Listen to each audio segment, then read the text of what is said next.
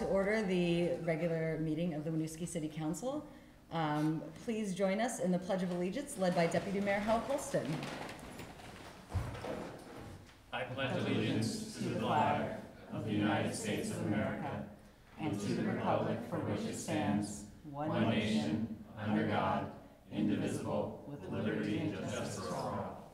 Thank you. Sure. Next up, we have agenda review. Are there any concerns or questions about the order of items today? Any from audience, from the public? All right, we'll move on to public comment. This is a chance for somebody who, members of the public who want to make a statement about an item that is not on today's agenda to come forward.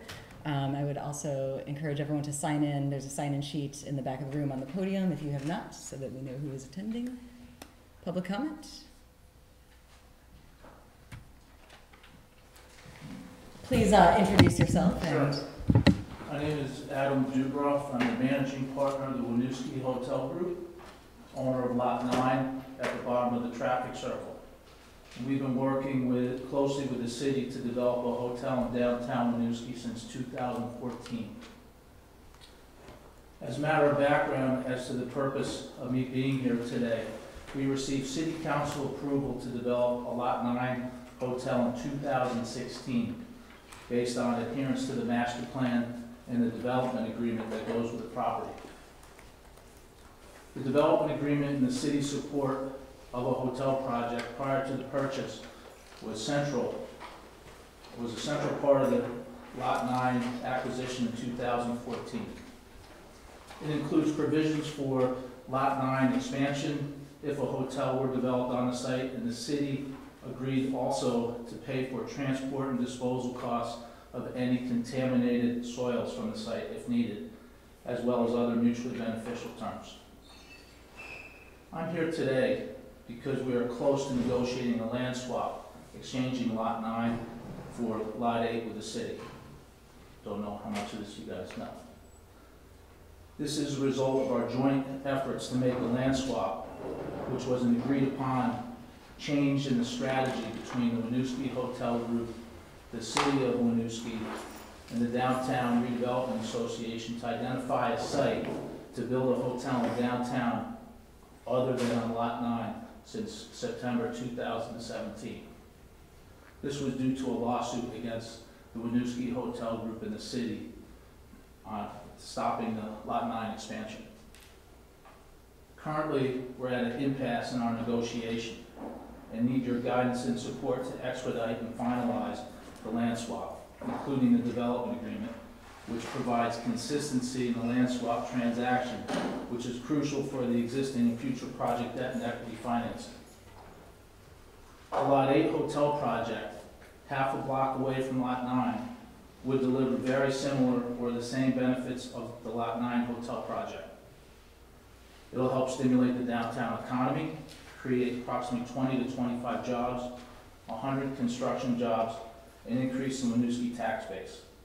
The Winooski Hotel Group only has requested the same terms that were part of the Lot 9 development agreement to be part of the land swap on Lot 8, no more, no less.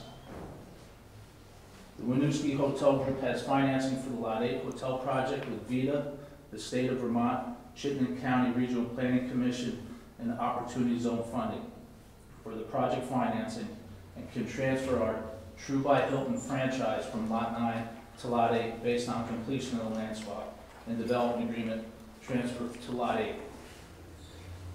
We can be available for a council work session, prepare a more formal presentation for the next council meeting, discussion, etc. Whatever you su- suggest. We'd like to complete this transaction before year end, again, and believe all the benefits of the hotel in Lot 9 will transfer to Lot 8. And we are prepared to do whatever it takes to make this happen before Christmas, hopefully. Winooski needs a hotel consistent with the downtown culture. We need your help and support to make this happen. I'm hoping for some suggestions. Well, thank you for coming in. We have all been briefed on this process throughout the negotiations. Our city manager is responsible for negotiations. We know you've been working together. And I would urge you to continue to negotiate with her on this land swap. She will keep us apprised and give us opportunity to weigh in. We are unable to discuss this at this time, though, as it's not a- an agenda item. Okay. Uh, but we've been at an impasse, and, uh, I have some additional materials to give you some more background on this, and, uh, would like you to consider some options on, on how we could go forward on this, because there are the same benefits to doing the land swap on eight as, uh, the hotel will deliver on nine. Um, if you would please leave those, she can share those with us afterwards. Okay. Thank you. Thank you. Are there any other public comments? Thank you, Adam. All right, uh, we will move on then to our consent agenda. We have for approval our city council minutes from September sixteenth, payroll warrant for period nine eight nineteen to nine twenty-one nineteen, and warrant ending ten two nineteen, and subsequent to payout warrant July and August. We have an adjustment to the city engineer job description and UPWP PCP agreement, uh, phosphorus control plan agreement. Any questions about the consent agenda? Any questions from the public? Hearing none, I would entertain a motion to approve the consent agenda. So moved. Second. Motion by Jim, second by Hal. All those in favor, please say aye. Aye. Aye. Motion carries. Thank you. Uh, city update is next. Great, thank you. Um, so a couple things tonight. One, just a reminder that the mayor and I are hosting a commission orientation tomorrow night here in this, uh, room at six P M. Um, all are welcome and as council liaisons, we hope you will consider joining us as well. Um, while this orientation is specifically targeted for commissioners who have recently been appointed, um, it is a general overview on serving on a board or commission, so encourage anyone who's interested in serving to come and uh, participate in our orientation. Um, want to give you a few uh, airport updates. Um, so since our last meeting, the noise exposure map that the airport has drafted has been published on the btvsound.com website.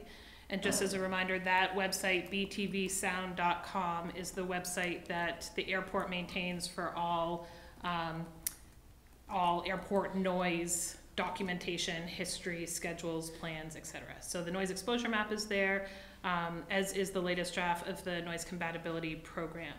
Uh, Councillor Duncan and I participated in a meeting on September 19th at the airport on that NCP proposal.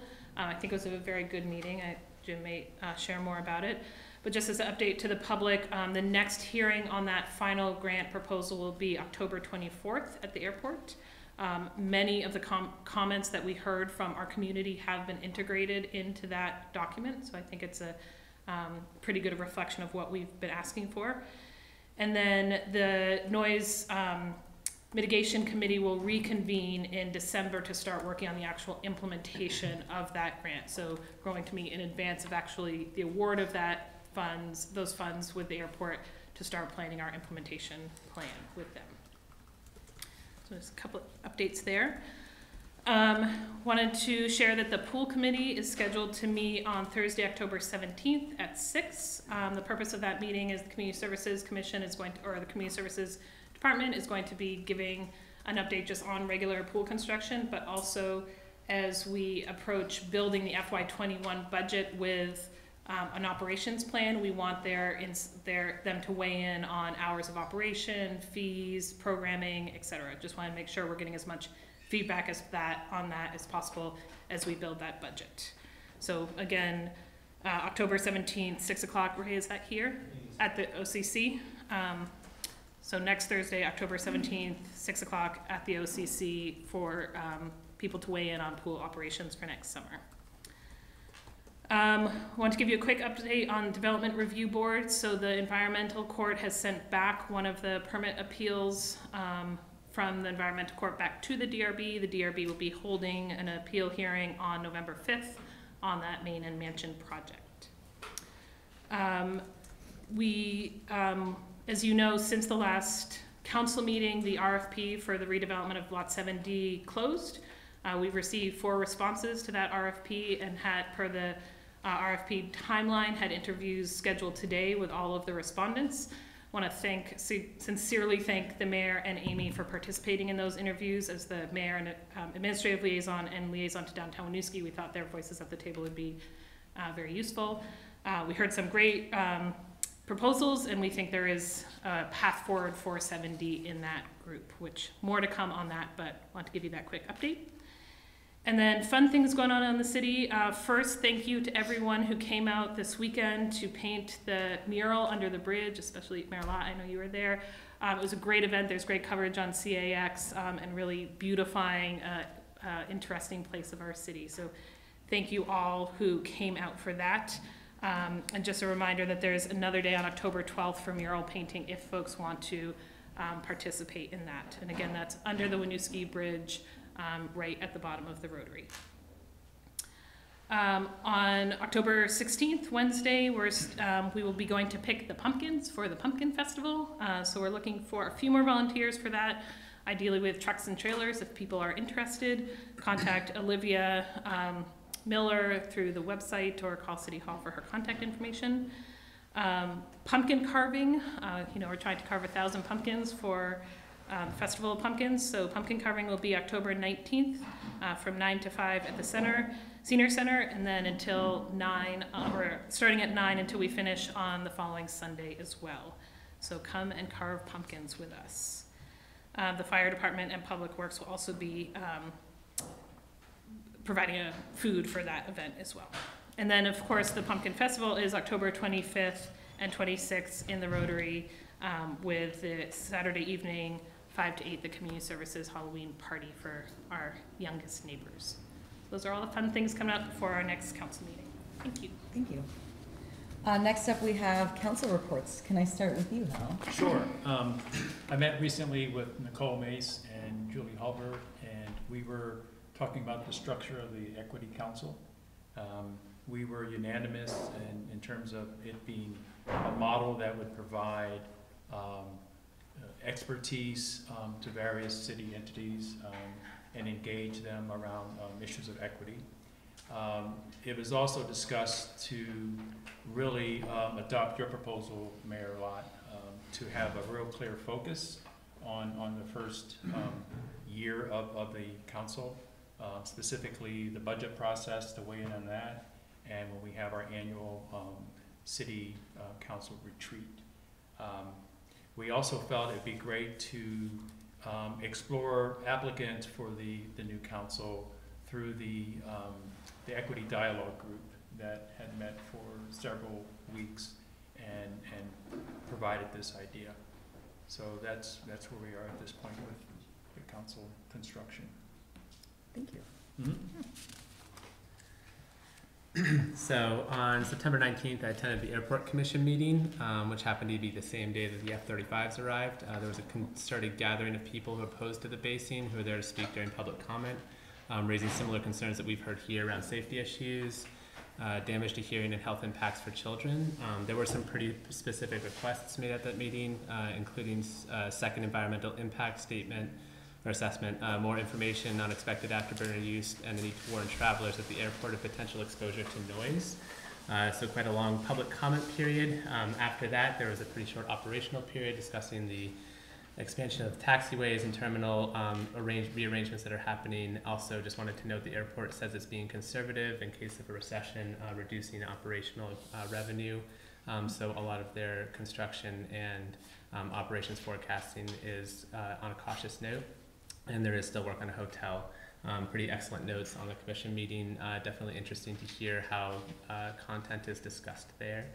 Uh, I sat around for an hour and then joined the TAC meeting with Jessie, uh, and I would only say that um, many of the requests that we made as council relating to how funding will be prioritized, the stuff that will happen at a later date when they develop the planning and policy documents, and not specifically the noise compatibility program.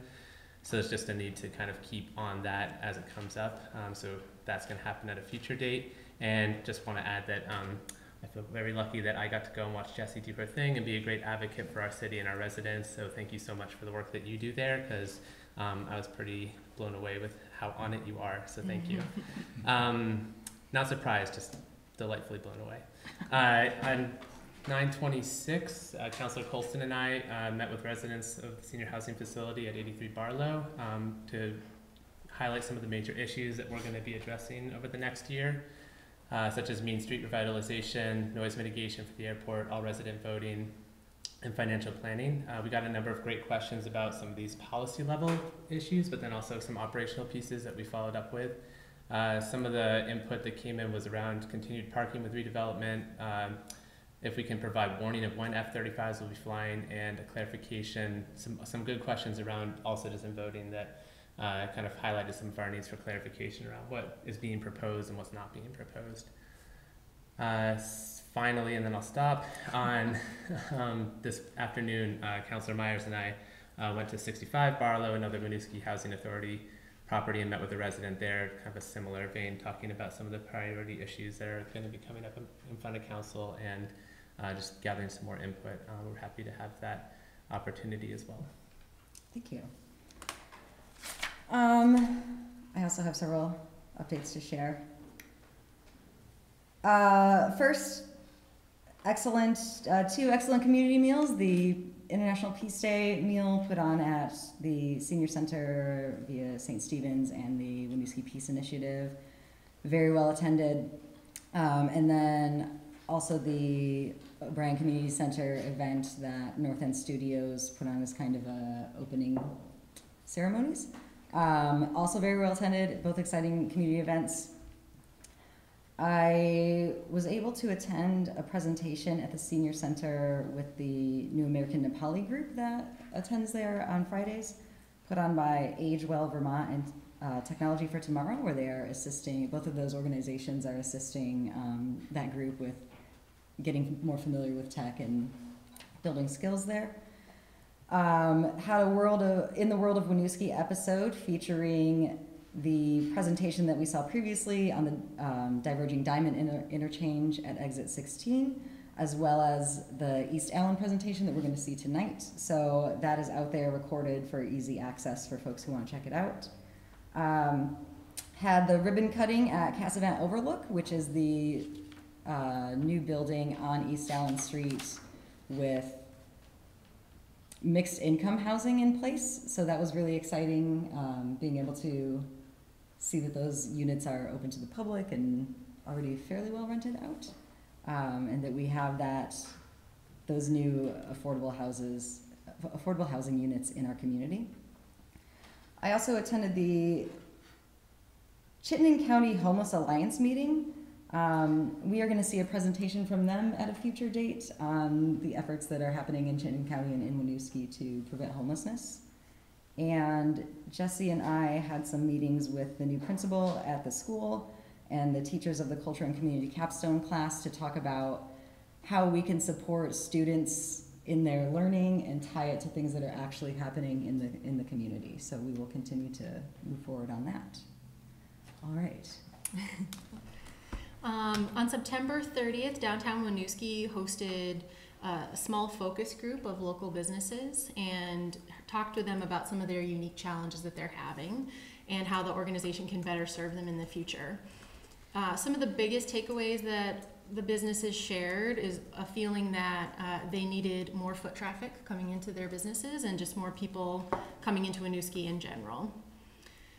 Downtown Winooski is also actively recruiting board members and specifically looking for members from the business community. So if anyone is interested in um, learning more about that or potentially joining the board, there's going to be an informational meeting on October 22nd, and you can visit downtownwinooski.org to learn more about that.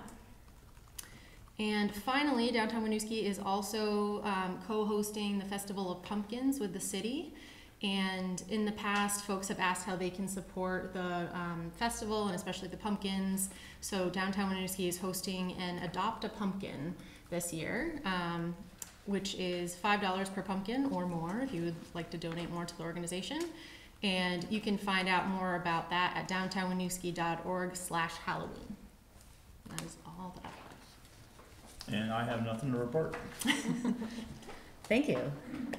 Um, Moving into our regular items, our first agenda is an event permit for the Pumpkin Festival.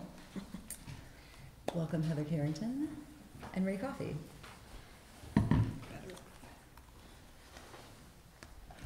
Hello, we've been talking about this pumpkin festival all night and now we need to permit it. Um, so, uh, staff has received an event permit application for the annual Festival of Pumpkins. Um, for the past few years, the festival has been held in Rotary Park. The display of approximately 1,000 jack-o'-lanterns lit in the park draws hundreds of community members and visitors to our downtown, so there's some of the foot traffic we were talking about. Um, this year, the event is scheduled for Friday, October 25th through Sunday, October 27th, from dusk until candles burn out. And this is the first year that the event will be sponsored and organized by the city in partnership with Downtown Winooski. So staff recommends approval of the permit. And because the event is co-sponsored by the city, staff also recommends waiving the $200 Rotary Park use fee. And I brought Ray to give any, to answer any questions about how we're doing with the pumpkins so far. I'm also gonna beg you all to come carve roughly twenty-five to fifty pumpkins each. How is it taking over from the work of the season's greetings crew? If, if it's not obvious, I am no Sally Tipson. But so far, so good. I think uh, Meredith from downtown has been awesome to work with so far. I think this adopted pumpkin piece is really cool, uh, interesting way to get some people engaged early and in a different way. Uh, the farmer's been great to work with, so I've been on the phone with her quite a bit recently about the whens and the wheres. Um, but yeah, we're ready to roll. I think it's gonna be a lot of fun and I'm hoping, hoping we can get everything carved on Saturday. That's my optimistic hope, but we'll see. I have a feeling we'll be back Sunday to do. If we meet our quotas. Yeah, I mean, if you hold up, we should be good. They don't have to look good, right? They just have to. No, no, no. Yeah, Definitely by the end of Sunday, there's some questionable technique. But yeah, all good. Are there any questions, concerns from council? Any questions from the public? Corey? What, uh, Corey Mack, resident on Wood North Street. Um, What, uh, what do you do with all the innards of the pumpkins? Great question. So in the past, we have taken those to a local pig farmer, actually. Um, we have not as yet been able to get said pig farmer on the phone, but we are either gonna get in, in uh, connection with him or work to compost those. So we'll get those into a responsible waste stream channel. Great, thank you. Yeah, no problem. Any others? All right, then I would entertain a motion to approve the event permit for the Pumpkin Festival and waive the Rotary Park fee. So So, second. Motion by Amy, second by Mike. All those in favor, please say aye. Aye. Motion carries. Thank you. Thank you. Thanks. Um, we next up have some Municipal Infrastructure Commission appointment, appointments for approval. John Rauscher will join us.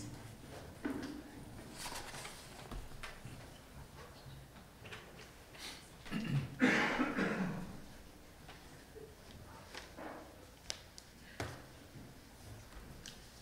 evening. So we, we have some new applicants for the municipal infrastructure. Um, And I do say we, we really have some exceptional folks that, that came forward for the uh, commission. So we're really excited to bring them on. Um, We are um, looking to appoint or reappoint our three existing members. So Laura, uh, Corey, and Chris. Corey's here tonight. Um, those folks have uh, agreed to go for another two-year term, which is great. And then our new members, uh, Jason Williams, um, we're requesting, um, which Jason's here tonight. Uh, Jason, uh, we're, we're looking to have him uh, come in for a one-year term. Uh, uh, Sutzik, um, two-year term on the regular commission board.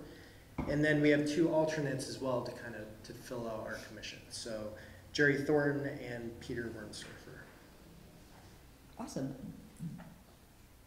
I assume that Jerry and Timmer and Peter are not here. Correct. Okay. Um, did Jason or Corey want to say anything?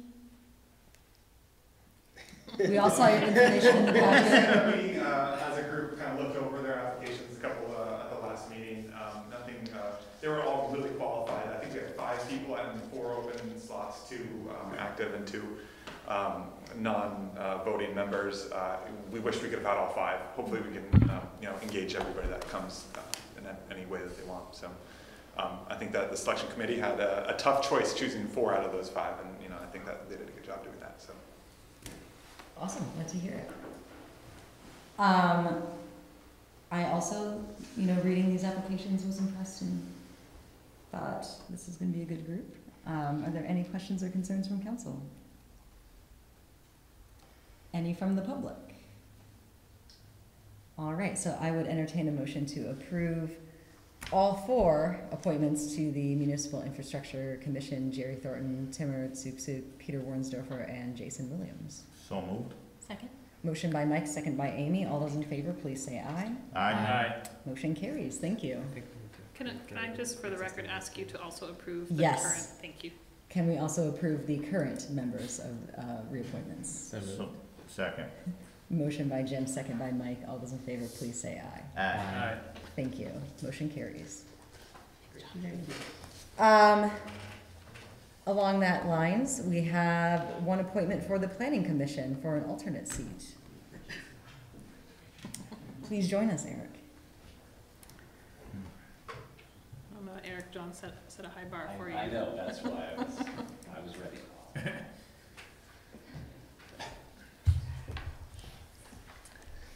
All right, thank you very much. Uh, I'm here tonight to request appointment of Sarah Van Rijkenvorsel, is that right, Sarah?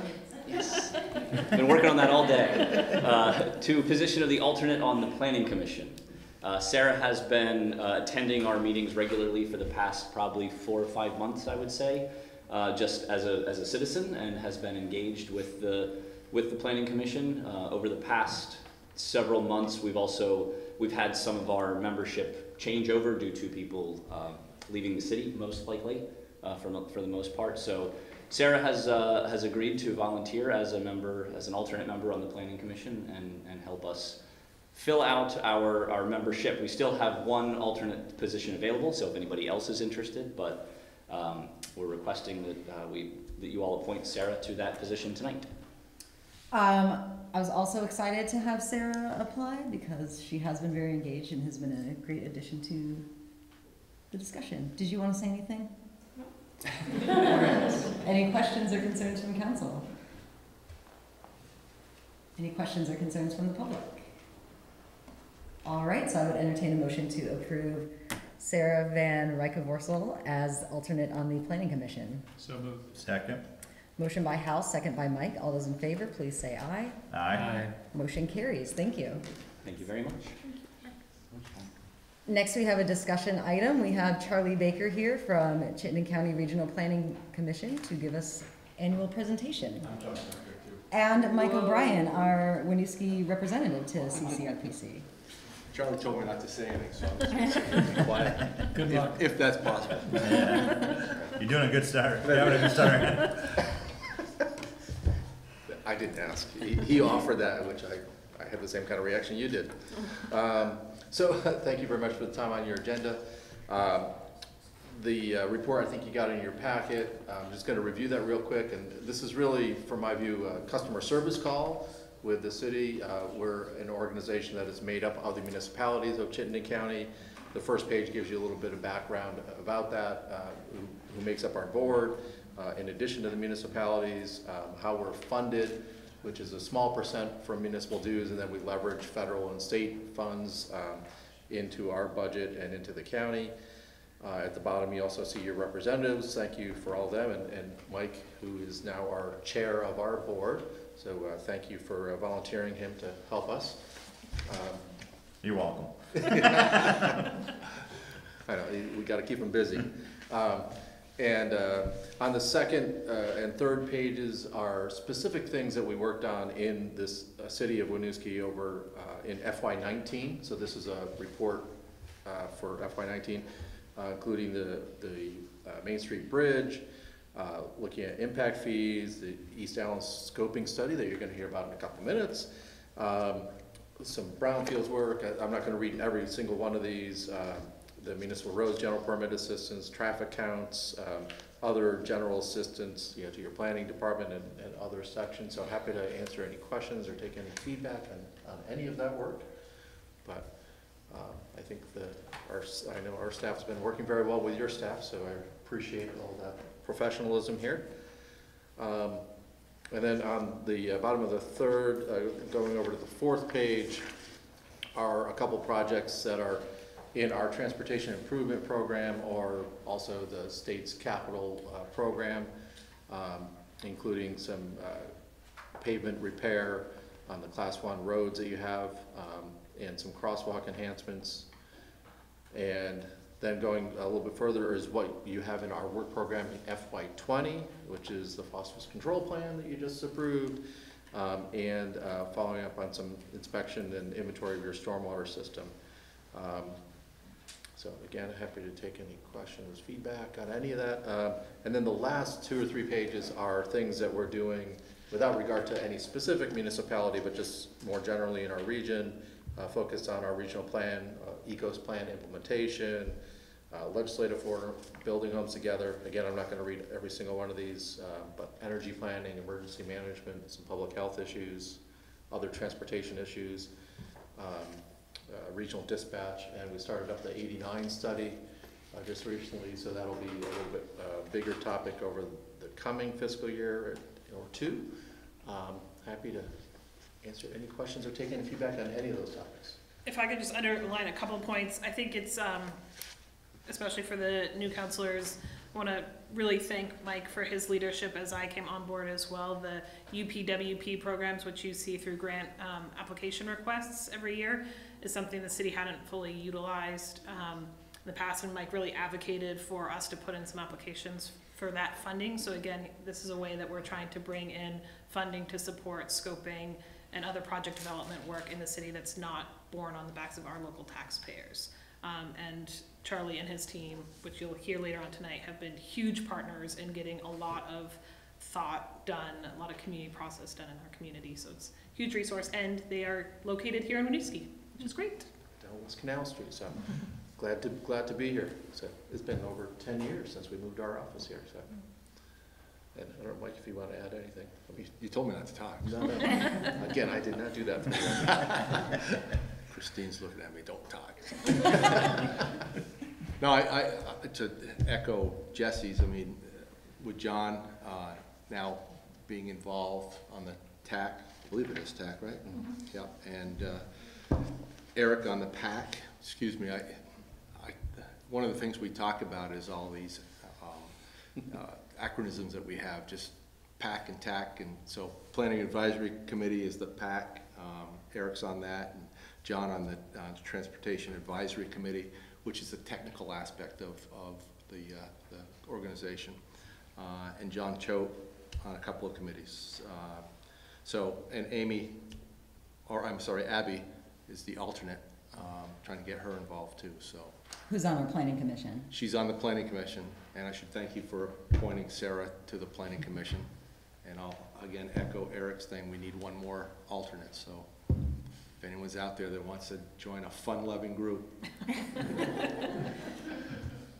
Um, I, I would just say that CCRPC, for, you know, folks who don't know what you do, obviously there's an extensive list here, but having this resource of somebody who is thinking regionally, who is working across towns and stakeholder groups, and also bringing expertise in when we don't have the staff capability is just tremendously useful.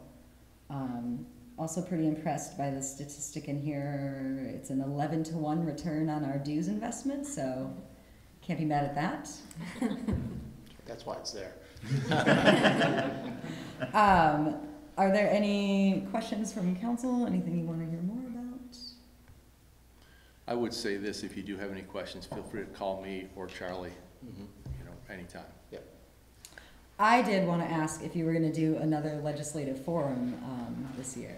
Yep, um, actually, I think the email to save the date is going out tomorrow morning, so. Oh, excellent. Good, good guess. Um, yeah, so I think, uh, early part of December, um, yeah, we're getting that set up right now. Um, and also, um, the other thing that we're doing that we haven't traditionally done is, uh, uh, communicating with all the legislators, uh, in the county, uh, to let them know that like these annual reports, uh, they're obviously all, like, like Hal, representing a municipality also, uh, in the legislature, so we wanna, uh, make sure they're aware of what we're doing with you all. Um, So that, I think that communication is going out tomorrow morning also.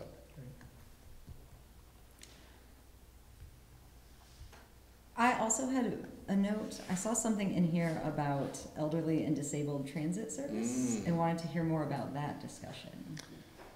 Um, So the short version um, is, I think, about a year and a half ago or so, um, you know, we had some conversation about, uh, could, could we do more? Uh, Could we look at that system? Um, So we've contracted with United Way, um, and uh, their staff that has been working in this area, uh, in the Neighbor Rides Program you may have heard of. Uh, um, And so uh, we had, we worked with United Way and Green Mountain Transit to really work with all the partners in the elderly and disabled service area um, to- to just kind of look at that service. Um, Being Chittenden County, we don't do it the same way as they do it in the rest of the state, um, for better or worse, and I'm not sure, I think some better, some worse. Um, So in most of the rest of the state, they have one consistent program for the entire county or, or region. Um, Here, we really have kind of a patchwork um, based on which communities kind of joined the E and D partnership maybe 20 years ago. And so uh, it may be something we follow up on, uh, just to kind of say, should we relook at how that system is structured? Um, And uh, there's a few dynamics there. I think GMT is going to be uh, issuing an RFP for that service, which right now SSTA provides. Um, That, you know, is nothing uh, overly magic. I think that they do a great job at, at providing that service. They may do it again, but um, every so often GMT puts it out to bid. Um, And then the other part of the conversation is much more municipally based, um, which is uh, some municipalities are partners and contribute some match to that service.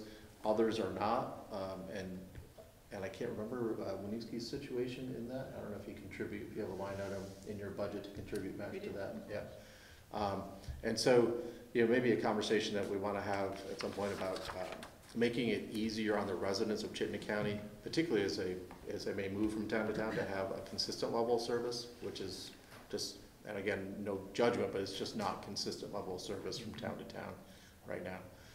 So that's a, a little brief background, and, you know, I think we've been more focused on the information pieces that are available to riders and trying to get some consistent communication um, that's more useful, but it still has a table attached that says, you know, well, if you live in Colchester, you get X, if you live in Essex, you get Y.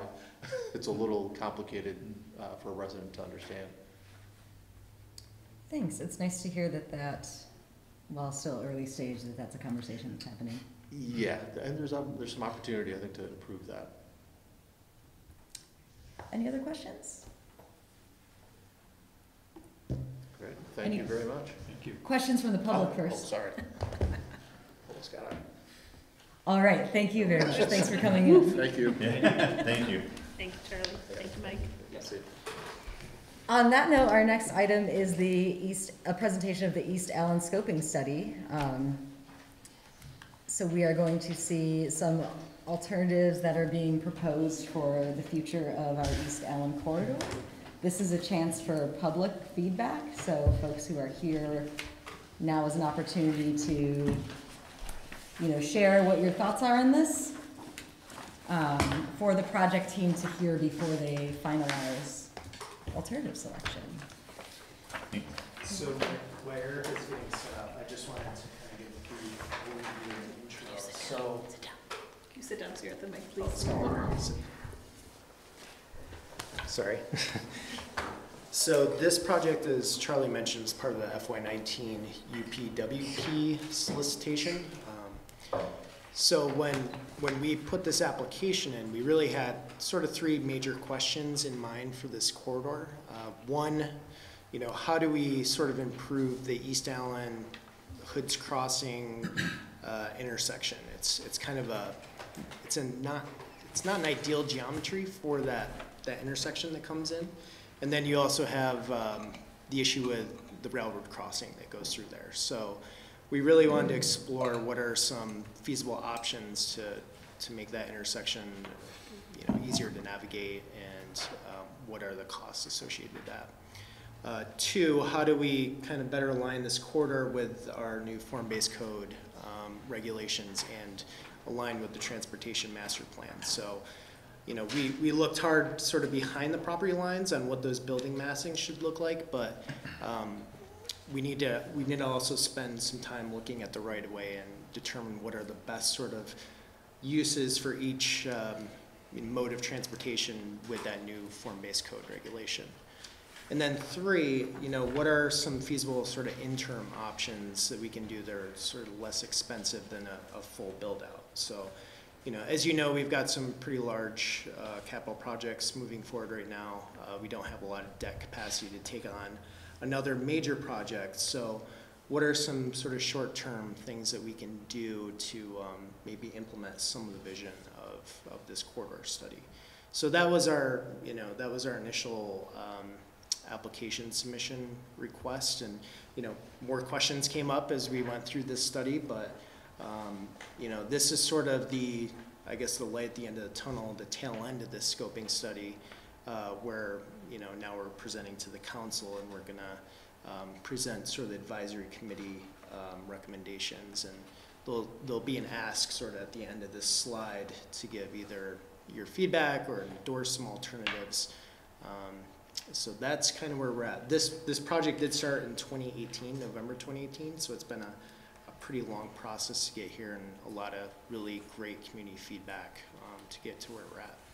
But- And just to Yes. add a few more sentences, it, while this project started in 2018, I think it's important to remember that this planning work started significantly before that, during the development of the form-based code, the acknowledgement that some of the um, road, the right-of-way would need to change, and then through the transportation master plan in 2017 as well. So this is kind of a high level, you know, we started with the zoning, high-level transportation master plan, then into more scoping specifics about what could actually be done on, on the road. So you are picking that up at this point in that multi-year conversation. Great. Yeah, and so that, I just want to introduce uh, Dave Saladino. We have Erica also with VHB, Jason from CCRPC, and Eleni from CCRPC, um, who've been great throughout this whole process. And um, no, I think it, it's been a it's, it's been a great scoping study. Just hearing all the community feedback and, and getting you know their thoughts and looking at concerns throughout the corridor. So with that, I'll kick it off to Dave to, to go through it. And the timing has been great with all of the activity happening on East Allen Street during the course of the study, so it, I think it kind of energized the discussions around what, what the future holds for the corridor, so I think it's, the, the timing worked out, um, nicely there. Let me see if, uh, this should advance, right? Yes, okay. Um, so we're gonna try to keep it fairly high level, um, happy to pause or stop, uh, to, to answer questions or to go into detail. Um, the idea here really just a, a brief overview of the project itself. Uh, John did a great job summarizing the why and the what. Uh, touch on the purpose and needs, why we're doing the study, what, what we're looking to resolve. Uh, really, the, the meat, meat of the presentation is around the corridor plan elements, and we'll show the, the different um, uh, alternatives that we looked at, and then end with next steps. Right, so this is the project team. Um, noted everyone on the left so far. On the right-hand side was the project advisory committee. Um, got some good uh, kind of diverse uh, viewpoints from, from different members from both public and private sector. Uh, and so we met with that project advisory committee three times through the course of this study. Um, this is the project study area. It's um, maybe a little hard to see the context, but the, the circulator is down here, just off the left-hand side. So East Allen Street, Route 15, runs across here, Spring Street and the railroad tracks. Uh, so we go all the way from the circulator all the way up to Roland Court, so just past the interchange, exit 15, um, and looking at all, at the kind of transportation corridor along this along this route. Uh, I won't read this um, in detail, but the idea really was to identify, was to carry forward the recommendations that came out of the Gateway study and the, and the, the Transportation Master Plan to really look at accommodating all modes along the corridor, uh, looking at this as a gateway into Winooski, so looking at aesthetics and, and how it's perceived for those, those folks who are coming into town, uh, improving mobility and, and safety along the corridor. Obviously, as John alluded to, the intersection of Spring Street has um, not only is it a de- designated high crash location, but it, it feels unsafe pretty much any mode that you're in if you're trying to walk through or drive through the intersection. Um, and then looking at ways to, to maximize gateway development and redevelopment opportunities. Um, the needs fall pretty much in line. Um, so again, addressing pedestrian and bicycle accommodations, balancing accommodations for all modes, Uh, you can see safety there, better, better accommodations for transit service along the route. Um, this is a pretty high, high frequented route, um, but there's not a lot of actual accommodations at those stops for, for transit users. Uh, and then addressing some of the operational issues, both uh, at either end, both at exit 15 and at the circulator, as well as at, at Spring Street. Um, as John noted, we, we kicked this off back in November, um, and uh, uh, there was three advisory committee meetings through the course of the project, um, as well as uh, this being the, the third public meeting. So we had uh, initial pub, uh, local concerns public meeting in February, um, and then an alternatives presentation public meeting in June. Uh, the local concerns actually fell on, on um, Valentine's Day. We got a really good turnout. We had, we had trace paper out, and people were willing to come out and, and dedicate their time, which was great. Um, so that feedback was, was captured, and we've, um, we've pulled together an actual report um, that's in draft form until uh, we see where we land tonight. Uh, and then the final scoping report will get issued once we, once we hear where we land, and we can wrap that up in the final report. so um, while we're looking at the entire corridor, improvements along the corridor, it, it became pretty clear that the, the interest and, and kind of the, the issues were concentrated at certain locations. And so we broke out these focus areas. Um, the ones in yellow are ones where we looked at multiple alternatives, um, and we'll touch on some of those. And then the, two locations in red were a single alternative, and we'll show that, that uh, as well. so starting with the first fo focus area, so we're just, we're down by the circulator. This is Barlow and, and Cascade Way. Um, some of the issues, this is the existing conditions here. Um, you can see uh, we do have one crosswalk uh, across uh, East Allen Street here, but a missing crosswalk on this leg. Um, we've got brick, brick sidewalks on both sides. Uh, you can see on this side, though, we've got trees and lights uh, within the sidewalk, so that minimizes the effective width of the, of the sidewalks in those locations. Uh, the no left turn in or out um, does limit some turning movements, particularly those who would like to get to the parking garage, obviously, can, cannot do that legally now. Uh, we heard from a, a, number of residents and others who are who are intentionally kind of bypassing this to get across to go up uh, Barlow Street. Um, we've got this wide expanse of pavement here and essentially an acceleration lane coming out of Cascade that in an urban environment you don't necessarily need a, that much pavement or an acceleration lane to, um, to move. It, it, also represents a break in the bike lane, so we've got a striped bike lane back here and then it picks up off this screen. So it's an opportunity to reclaim some of that space for bike lane, uh, for, for bicycle usage. So um, we looked at three different alternatives at the intersection, um, and, and, as John alluded to, we really wanted to focus on some short-term, mostly striping improvements as, a, as an initial um, way to get some, some improvements, uh, and then a longer-term alternative. Uh, so in this case, the short-term alternative is this merge lane removal. So again, addressing this lane here, repurposing that, that asphalt. Uh, and then the, the two um, uh, kind of more intensive alternatives looked at getting rid of the triangle splitter island, turning this into a full four-way intersection. Uh, the main difference between these two were whether both alternatives have moving the southerly curb up to be able to get a green belt in this space. Uh, the second alternative, which was the alternative that was recommended by the advisory committee, was also, also involved moving in the uh, northern, northerly curb line, uh, and I'll show that on a, on a graphic. Um, lots of information here, and I'm happy to go into detail, but these um, will come back, this, the same matrix appears for each of the, each of the locations. Um, the different alternatives are shown here as the columns. Uh, total cost estimate, probably the one that you would be interested in most is on, on the top row here. Uh, so this, the, the merge lane removal, or essentially restriping, um, is a fairly low cost item, and um, there is a VTrans paving project coming through in 2022 that could essentially make that um, almost non-existent. It could just be, wrapped into the striping plans that go along with that paving project. Uh, the alternatives two and three are more expensive because it involves moving curb, moving some catch basins and drainage, um, potentially re repaving the, um, uh, the roadway, uh, what's, what's remaining of the roadway. Um, so this is what the, the short-term recommendation, and again, this is what the um, advisory committee had recommended to move forward with for short-term improvements. Uh, so essentially just striping out, hatching out that, um, the merge lane. Well, essentially turning that acceleration lane uh, into uh, roughly um, uh, eight foot bike, or uh, sorry, six foot hatched area and then a bike lane, striping up, getting the full bike lane all the way through this section. There's opportunity to put some um, planters or some, something else out in the street during, obviously during the warmer months to um, utilize that space so it's not just striped, striped hatching. Uh, this also carries bike lanes through with the bike uh, crossings uh, at uh, Barlow and Cascade Way.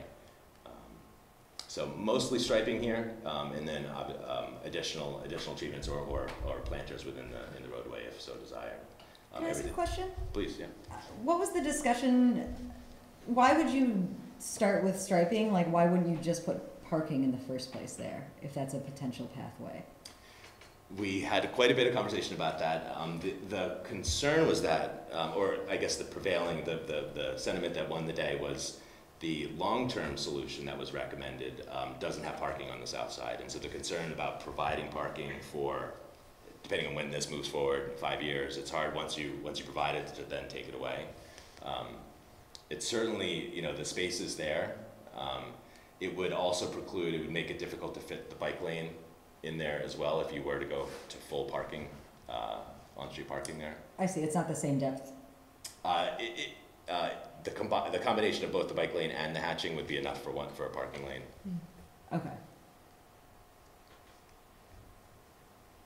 Is there any concern about traffic congestion by coming out of Cascade Way onto East Allen? Instead of having that first striped, should there be more of a on-ramp to get onto East Allen? Um, you know, if, if, if we were just looking at pure traffic flow, Mhm. sure, but, you know, most intersections in the city are, you know, are, are more like Barlow Street with a, with more of a ninety degree turn. And so we felt that this radius here accommodated some higher speeds, but, um, essentially in an urban environment, you don't necessarily want people kind of gunning it around the corner at, at high speeds. I see, okay.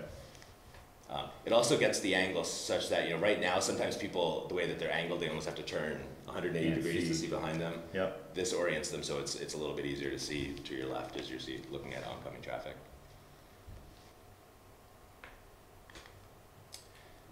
Um, so this is the long-term alternative, and, and um, as I mentioned before, can't quite see the existing, the, the existing curb line is back here at the edge of the existing sidewalk, so moving that out six feet for a new green belt, um, which could be planted with trees, moving that out of the existing uh, sidewalks, uh, along with the lighting as well. Uh, this gets cross, this missing crosswalk gets uh, filled in here. Um, we remove the um, splitter island here um, to, to create more of a four, four-way intersection, traditional four-way intersection. Um, and then also moving the curb line in six feet on the southerly side to get green belts on both sides. And again, that, that conversation came up. Um, it was almost a one-for-one discussion, green, green belt, so trees and other green things versus parking. Um, in this case, uh, the recommendation was to go, go forward with this uh, enhanced landscaping and green, um, kind of at the arrival as you're, just as you're heading into, into downtown to have that, um, uh, kind of that buffer from the sidewalks and from the, the cars I got a question for you, the Cascade Way intersection, Mhm. is there enough visibility by VSAC building to see oncoming traffic? I mean, that looks pretty far back behind the building right there. It does, yeah, the, this corner here, we Yeah. did look at the, at the, the, you know, if you were at the stop bar, it would be, it is a difficult sight lines, but, you know, the, the rule is that you've gotta stop at the stop bar, and then you can pull ahead in, uh, you know, to be able to see, uh, before entering the traffic stream, so at that, at this point, you know, you, you most likely would not be able to see fully to the left, um, but you can see at the crosswalk if there's pedestrians, and you can pull forward, and you'll have, you have clear view to, to your left once you get up forward. Does this, oh, sorry, No, John. go ahead. Does this plan, or did you talk about having, um, a flashing pedestrian crosswalk? Because I've walked my dog in that area a lot, and I've seen people stop at that crosswalk, kind of to Mm. no avail, like people just drive through anyway. Mhm, And I just mhm. was curious if there was, um, any discussion about a flashing light or something that would draw more attention to the crosswalks. Mhm. We did talk about it. Um, I think where we landed with this, and I'll, I'll look to others too, but th- this is close enough into the urban center where there was enough other things going on. Um, the flashing beacons tend to lose their um, function or their, you know, they don't stand out as much if you have them at every intersection. Mhm. And so kind of selectively placing them at places where there's higher speeds and potential for, you know, for, for more nasty accidents if, if one were to occur. So there is one planned uh, further east on here. Okay. Um, that's not to say one couldn't go in here, um, and we did talk about it a little bit, but we, we felt that the speeds here, the, the crossing distance was, was short enough, the speeds are slow enough that this would work just as is with the striped crosswalk. Yeah, and to add on to that too, there, there was quite a bit of discussion on that particular crosswalk, because I think a lot of people had the same issue, I've had that issue too, going across there. Um, V-Trans also recommended sort of a raised crosswalk to just give a little more, you know, notification to drivers, so that, that could be something to look at. Um, and then to follow up on the on-street parking, so just to give you a little bit, um, little bit more information on that. So part of the on-street parking discussion, um, one, you know, the parking garage is, is in close proximity. Uh, two, we don't really know what those, you know, with that, those developments that are currently residential, what that might look like. So we are leaving the door open, so if, if there's a development that comes in, there's opportunity to do maybe a curb cut and add some parking spaces depending on what the development looks like, you know, so if you have a, a quick stop coffee place or something where you wanna provide some on-street parking, you know, you, you could potentially do that down the road as well. Be- Let me get, let's get back to Amy's question. Jim and I were at a meeting today, and that was one of the concerns about the residents on Barlow Street at the senior living places, is that intersection right there, they, one side of traffic will stop when they see somebody, but the other side doesn't. So most people at that corner do not cross until both sides stop, which is smart. Mhm. But I think by hearing from the residents, I think a flasher, if that would be implemented into this kind of plan, would be good for, for those folks going down to the marketplace down, downtown. I would say though, with the configuration change and the narrowing of the crosswalk and slowing of traffic, the experience could change on its own. Just because the, the feeling is gonna be different than what it is currently. Yeah, I was just trying to figure out, cause you have a lot of s- seniors and just disabled people living in that section of town. Mhm. And they, they tend to walk down that way to get to the resources downtown. And that was one of the questions the resident brought up today. So, food for thought.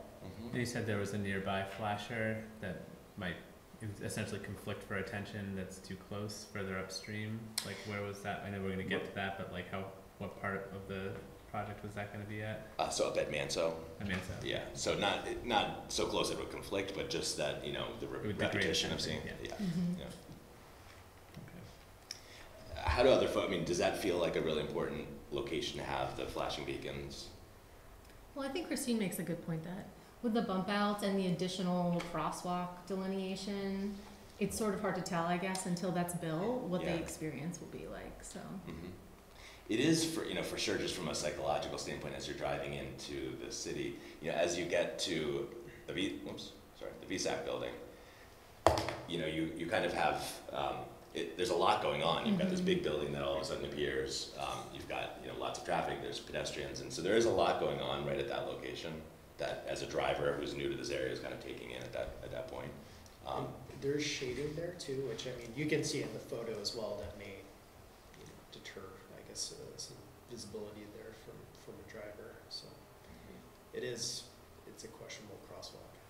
especially with all the senior living in that one area, they must use that intersection quite a bit. In my, I, I would guess. I don't, I don't have a fact to, to back that, but all of them are located right in that section of the town mhm, mhm. and resources downtown. I know some of them, some will walk to, I mean, most of them do. Yeah.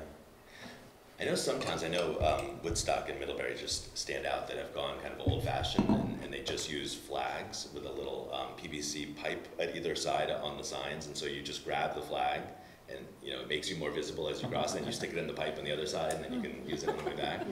Um, I know Middlebury has it up on Route seven, you know, as you go through, go through the village, a pretty high traffic volume.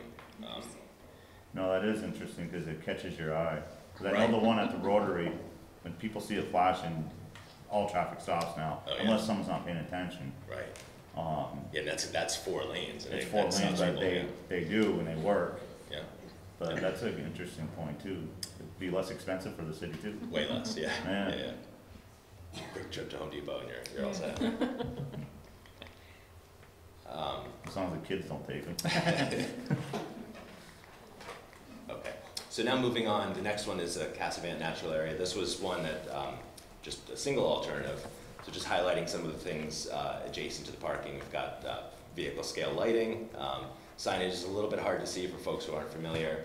Uh, not much in the way of trailhead accommodations and the parking is, is a little bit undefined.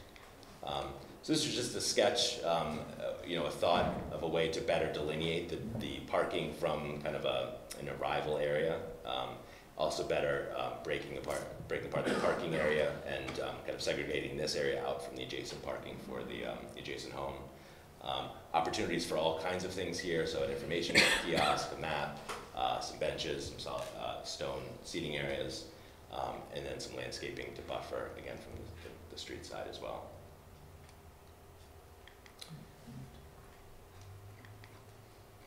Let's see. So next focus area is the Spring Street intersection.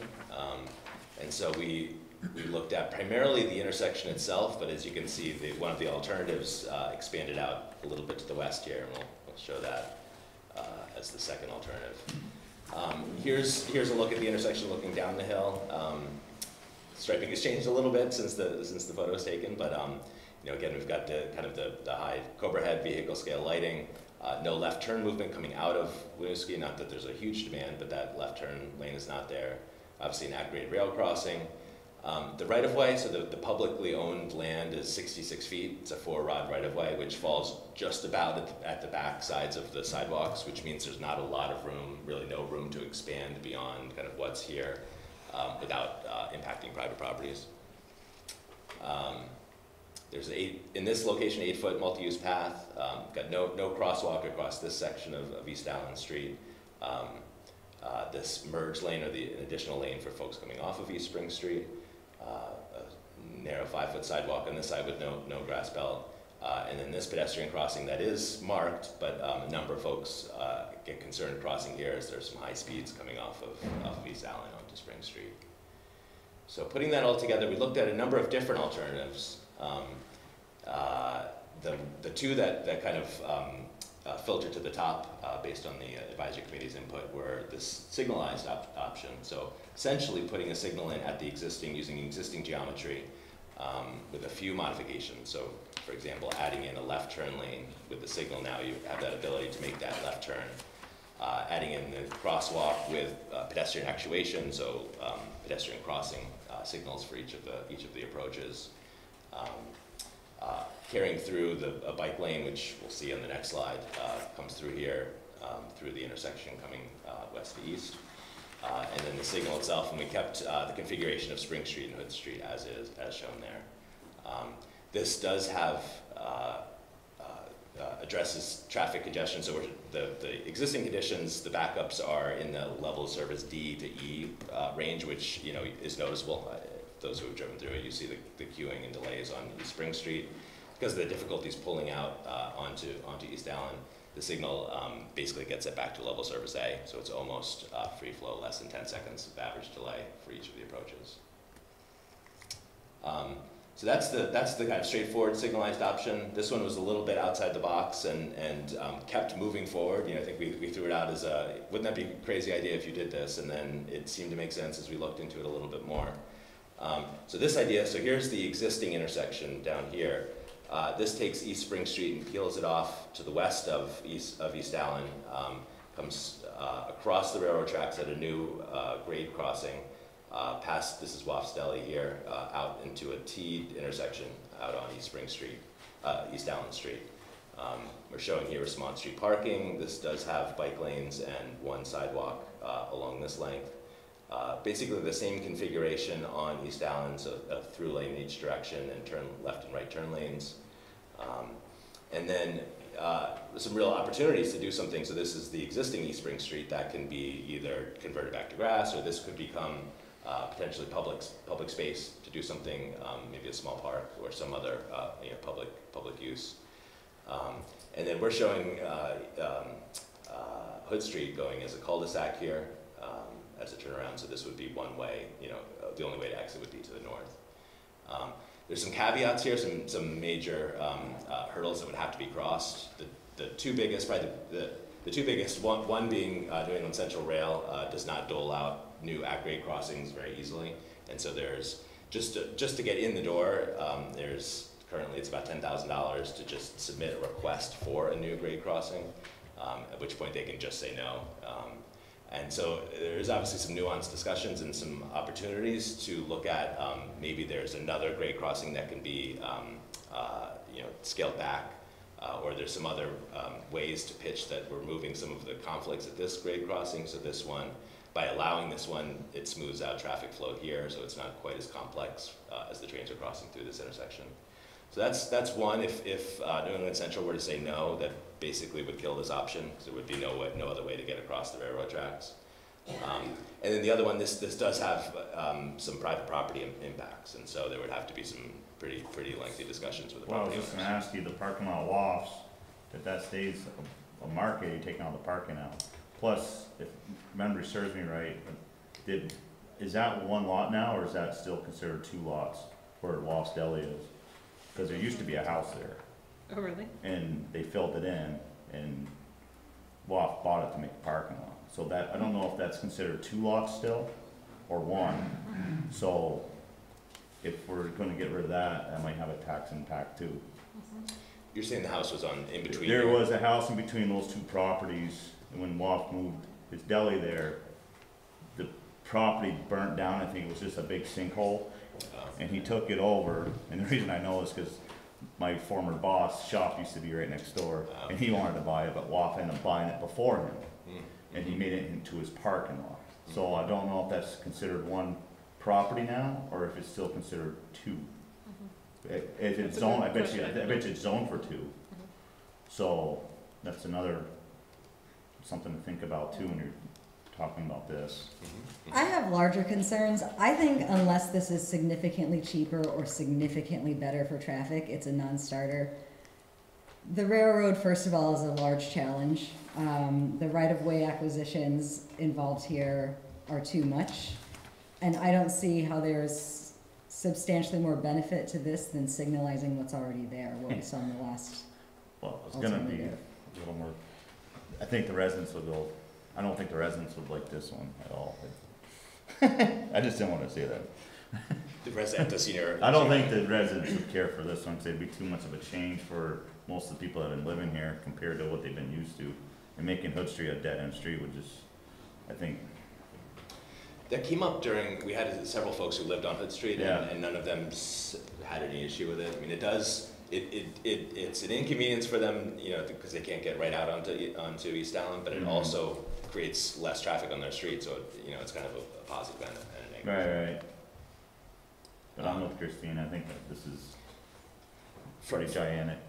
From a purely operational standpoint, in terms of how traffic flows, they're both about the same. They both, um, you know, they're both the same number of lanes feeding in. One, one's at a skewed angle, one's perpendicular, but since they're both signalized, they both operate fairly, um, similarly.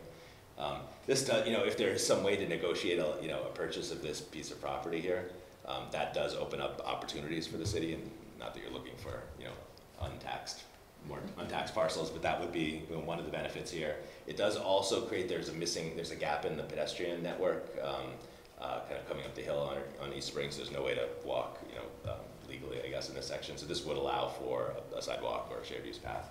Um, But, yeah, but, I think geometry wise, like from a purely sort of, planning standpoint, it does untangle that intersection by pulling that street off, but you know, that's from a blank slate, trying to like, you know, do a model city sort of planning exercise. For the uh, first alternative, is it possible to still get a sidewalk on East Spring and make that connection? I mean, the, the roadway width is wide enough there, right? So could you, even if you did the first alternative, could you still add that or connect those sidewalks? Uh, up here, Yeah. it's tough, it's, it's, um, pretty steep grade on, on that side of Spring Street. Mhm. which is the side that you'd want to be on to tie to the sidewalk up the hill.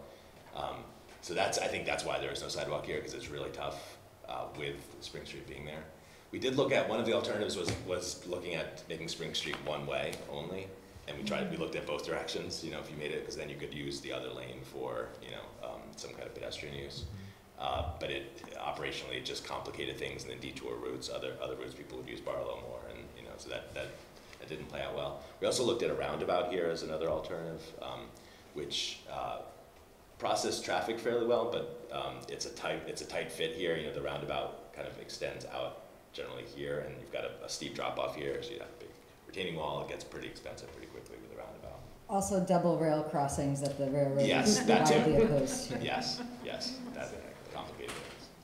Is there any concern that a signalized intersection right there would further back up traffic getting in and out of Winooski?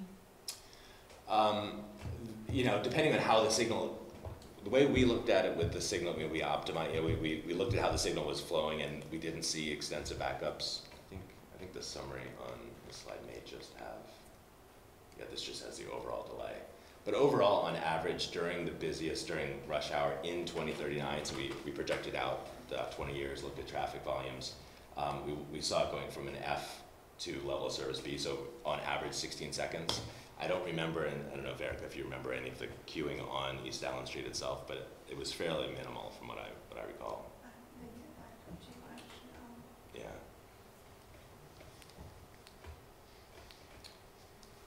So the way that uh, the, the advisory committee had recommended uh, to you to, to consider this was to uh, tentatively advance this, this alternative two, uh, basically going, um, testing out the rail, railroad to see if this is an option, uh, and then, and then having conversations with the property owners.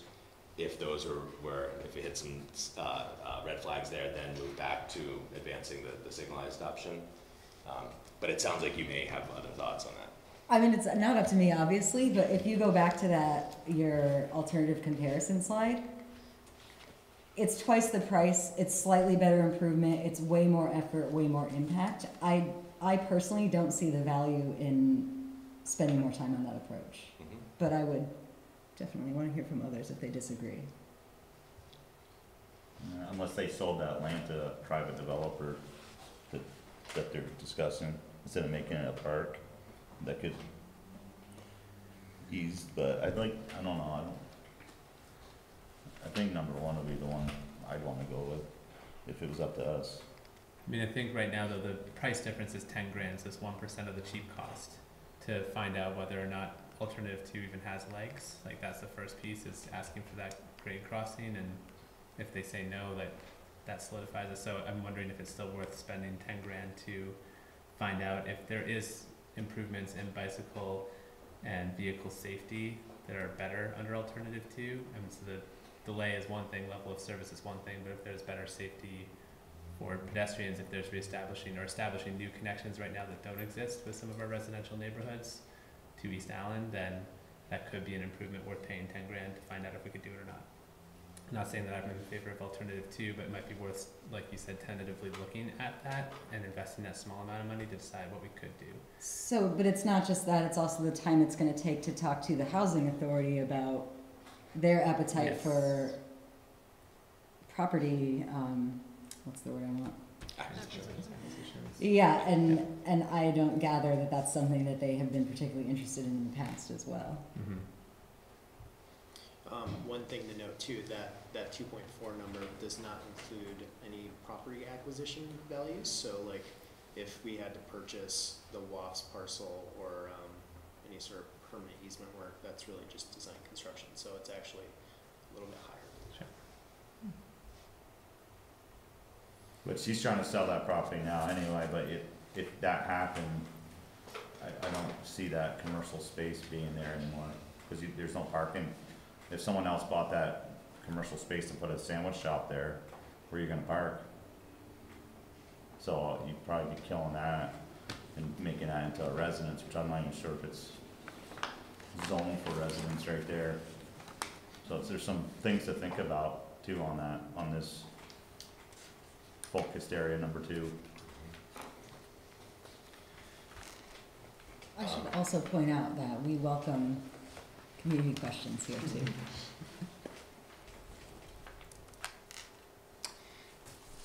A question about the bike lane going east, Mhm. eastbound.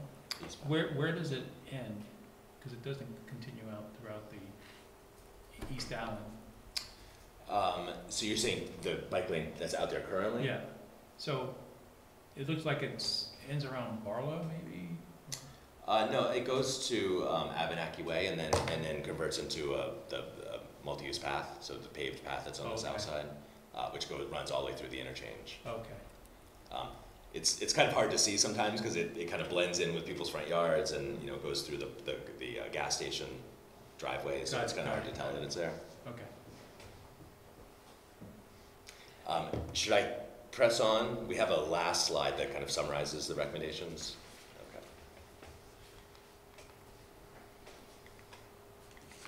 All right, uh, almost there. So focus area three, this is the uh, three and four lane section just east of uh, East Spring Street.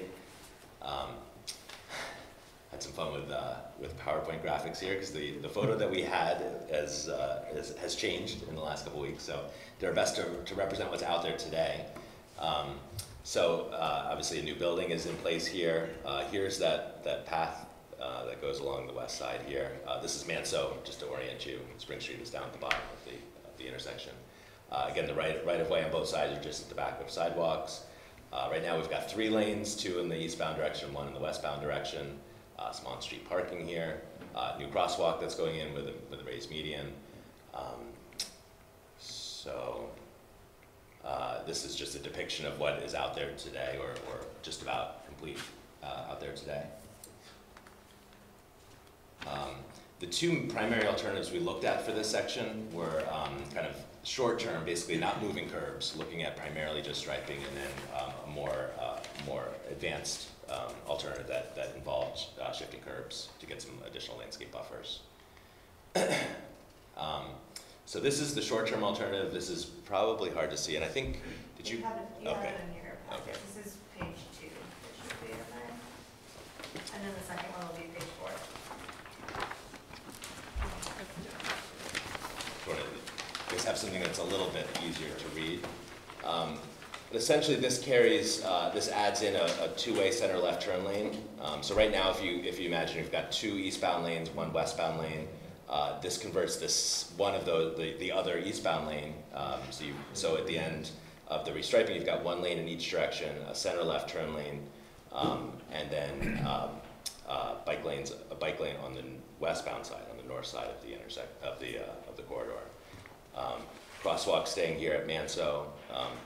Maintaining this merge, this this uh, it's a little bit hard to see, but the idea this this uh, this assumes the way that this is configured assumes that there's no signal at Spring Street as of the restriping of this corridor, and so the idea here is to keep an addition a lane for somebody to turn into. So they're turning off East Spring, turning left onto East Allen.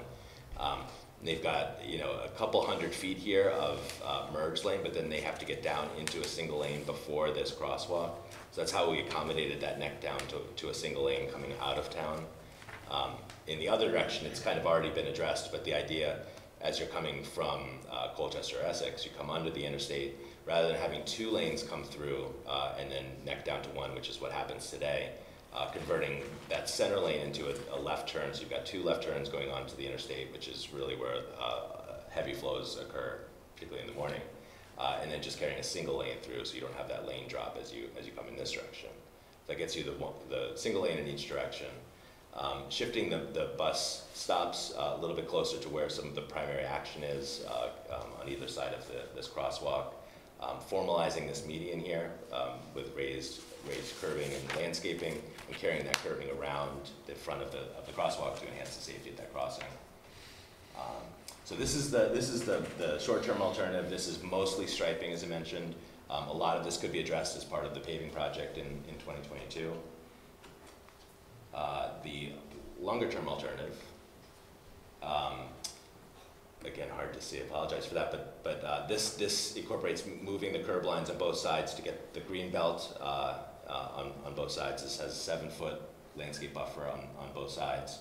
Uh, still maintaining the center two-way left turn lane and single lane in each direction. Uh, this one does pop out to two lanes as you approach the on-ramp to I-89, uh, which allows for a pull-off for, for buses on, on the eastbound direction. Um, and, uh, and the remainder stays fairly same. This, this, the cost here is really all in moving curbs, moving drainage, and uh, to accommodate that additional landscape buffer. So what is happening with the bus stop on the other side? Stop traffic? Yes, yeah. Um, we did, we thought that there might be an opportunity, you know, this, again, this is kind of scoping level, the next, for any of these, the next level is to get into more detailed design and Mhm. survey and so forth. There may be an opportunity to, on this side of the intersection, um, not start this island quite as soon, and so keep a little bit of, a little bit of width here, so that's closer to where the existing transit stop is now, so that there is So that, that would maintain some room for the bus to stop and allow traffic to get past it. And that's, that's a good point for council and for the public, is that these studies are here to inform future work. This isn't saying like, this is what we are going to do, we have a plan for this. Right. There are many, many next steps and years before any of this would be enacted. Mhm. But this conversation does say, put this on the books as like, this is what we start from later, and so it does, you know, the input does matter. That's a starting point. Question back there.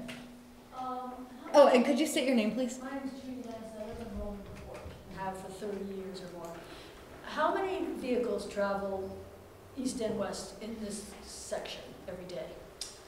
Uh, it's eighteen to nineteen thousand per day.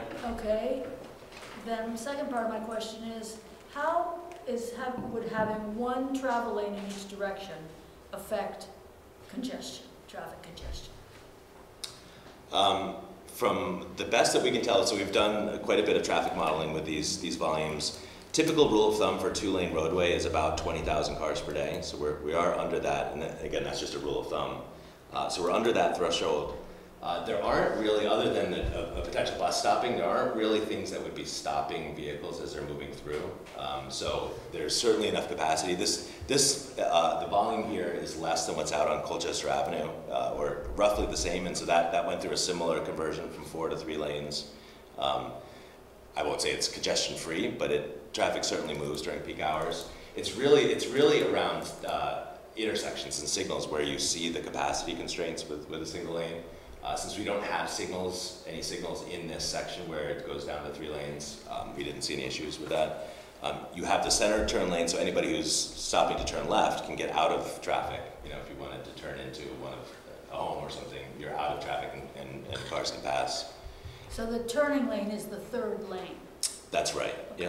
all right? Okay. Any thought about the on-ramp right there with congestion? I know between seven and eight o'clock in the morning, it's almost at a deadlock. And if you're gonna start bringing in more people coming down from Colchester onto the interstate, it's usually, between those times, it's usually deadlocked during the week, Monday through Friday. You're saying on the main line, on I'm on the 89? main line, but now you have one lane coming on, and if- and then you have two lanes coming onto their on-ramp. If you- you're gonna allow more traffic to get on the interstate that's already deadlocked, what's that gonna do to the single lane traffic trying to get up to Colchester, Essex? Mhm. Well, you know, uh, I guess just to clarify, this doesn't necessarily, we've got two lanes here, it doesn't necessarily mean twice as many cars will go. What will li- likely happen is that this will get less green time, because you can have t- two cars go for every second that passes Mhm. instead of just a single car. So you, you get some more efficiency, so you can give that green time back to people coming out of town. Um, so it'll still be roughly the same number of cars getting onto the interstate. They'll have to jockey for position and merge as they, as they move up the ramp. Uh, but it'll, it won't be that, probably not that many more vehicles, but it makes the whole intersection operate more efficiently because you can, you know, of your, of your time that you can give green to, you're giving less to these left turns and giving more to this direction, so you have less backups in that direction.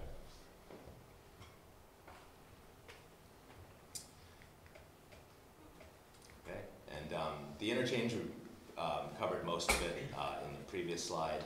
Uh, This basically carries um, through, with some striping, carries uh, the the multi-use path through the intersection to Rolling Court with a future connection to the Vermont 15 path once the alignment gets um, better, uh, better um, understood east of Rolling Court. Uh, And we talked about converting to two left turn lanes and then the merge lane on the, on the access. So um, that kind of takes us through the, the entire corridor. Um, what you have in front of you are kind of all of these pieces put together on the corridor to show both what a short-term and a long-term alternative would look like. Um, that's not to say that those are the right answers, and you know this is really up, up for discussion or, or um, to see where you guys want to land. Just to summarize where the uh, committee recommended. So at Barlow and Cascade, Cascade, it was the short-term striping in that merge in the uh, acceleration lane, and then the more expensive of the two long-term alternatives that moves both curb lines uh, in. So that was the recommendation, focus area one. As we talked about, focus area two was the tentative exploration of uh, alternative two, the realignment, and if not, then moving to the signalized uh, option. Uh, and then focus area three, again, striping that short-term, ideally captured as part of the V-Trans paving project, and then the long-term alternative, looking at moving both curb lines and um, getting some additional landscaping. So that's, that's essentially the, the, uh, the recommendations, and, um, I guess I'll leave it to you to discuss or decide. Can I first just check if there's any more public comment? Start back here. Nate?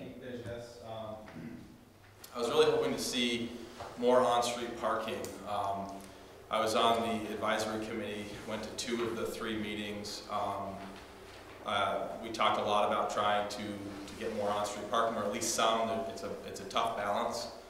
Um, But I'm wondering if, if some more light can be shed on that decision and, you know, how we might be able to look at that to see if we can bring in some on-street parking on that stretch. Yeah, and I guess I can speak to that. So, as I kind of mentioned earlier, um, we did show sort of the bumped out, like ideal curved option where we have added green space, but I think our intention was as developments come in, you know, for example, like two sixty-eight development where there's a need for some on-street parking to potentially cut that curb in to provide the, the needed on-street parking. So I think you know, with planning, we would look at sort of a case-by-case development, um, to see what, what the need is for any potential on-street parking. I think that all makes sense, but this, this sort of memorializes kind of the approach to push away from that. So I just think it's important, um, as we move forward, if it's possible, to get some of that language in there. Because I think it's really important um, to create this walkable urban downtown to continue with the, the fabric of on-street parking, or at least some on-street parking in this stretch. So, you know, I would ask that we put a little more thought back into that. Um, I know it, it seemed like we were moving in that direction from the first two meetings. Um, you know, really trying to slow traffic down this corridor. We have a lot of, you know, property along this corridor. Um, I cross the street along this corridor a lot, and uh, anything we can do to, to calm traffic, I think, is really important. So, um, adding the, the on-street parking, not only does it add value to uh, future retail spaces and things like that, um, but it also calms traffic So it's really important to me, and, and hopefully there's a way to, to get that into this report so we, we don't forget about that. But, you know, just along those lines, one comment that came up a couple times was the concern that if, if there is no, no one parking in those parking spaces, then it, it almost works in reverse, that it's excess pavement and people will drive faster. Um, it's hard to say, and I think a lot, I think it's hard for people, um, who don't do this every day to come in and, and try to imagine what the future East Allen is gonna look like with buildings and, you know, mixed uses, and I think today people are having a hard time imagining who would park out there. Um, so I think that was part of the conversation as well. Yeah, and the other, and the other big part of that too, um, David, is we're bringing in these residential developments. We'd like to have retail, commercial uh, components to them, but we can't support that without some on-street parking. Um, so having that availability helps to steer the development from, from day one towards something that's more urban, something that, that fits a vibrant downtown a little better. So it, it, you can't really wait, wait too long on that. Um, but, but I completely understand the challenges of getting everything through this corridor. So that, that would be the challenge, if we're gonna take away from something to add parking, or can we get it all in there? It's, it's always a balance, so, you know, there's, unfortunately, there's never enough room to sort of the, you know, the streetscape zone, which is usually six to seven feet for the, the nice tree plantings and the bike lane and, you know, the necessary sort of drive lanes, which are, you know, twelve foot for the, the center lane, eleven foot for each drive lane, and try to like get that all in a sixty-six foot corridor, so it's, it's always a give and take. It's, it's usually bike lane and parking, so. Yeah, I'm glad you brought that up though, because if you're gonna retail, no one's gonna walk uphill to go there in the middle of winter, And we're having that problem on the rotary, everyone else, on the rotary there's no street parking, on that curve going towards McKees, there's, it's a hard place to rent to businesses, because there's no back doors and there's no front, front off-street parking right there. And I think that needs to be, that's a good idea, I'm glad you brought that up. And I, and I will say with the, the new form-based code, there is a requirement to have the, sort of that parking in the back. I know that's not ideal for the quick trips in and out, um, but that, the intention is that a lot of that parking will be in the back, and that's why all the buildings are sort of pushed up to the, the right of way, so. Um, again, I think we, we would have to look at it on a case-by-case basis for on-street parking, um, instead of just showing it sort of carte blanche and then removing all the, the green space.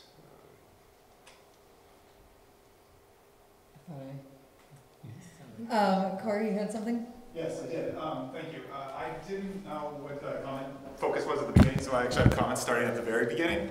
So um, uh, just going to that first focus area when we were talking about uh, uh, the, um, the short-term and the long-term recommendations there.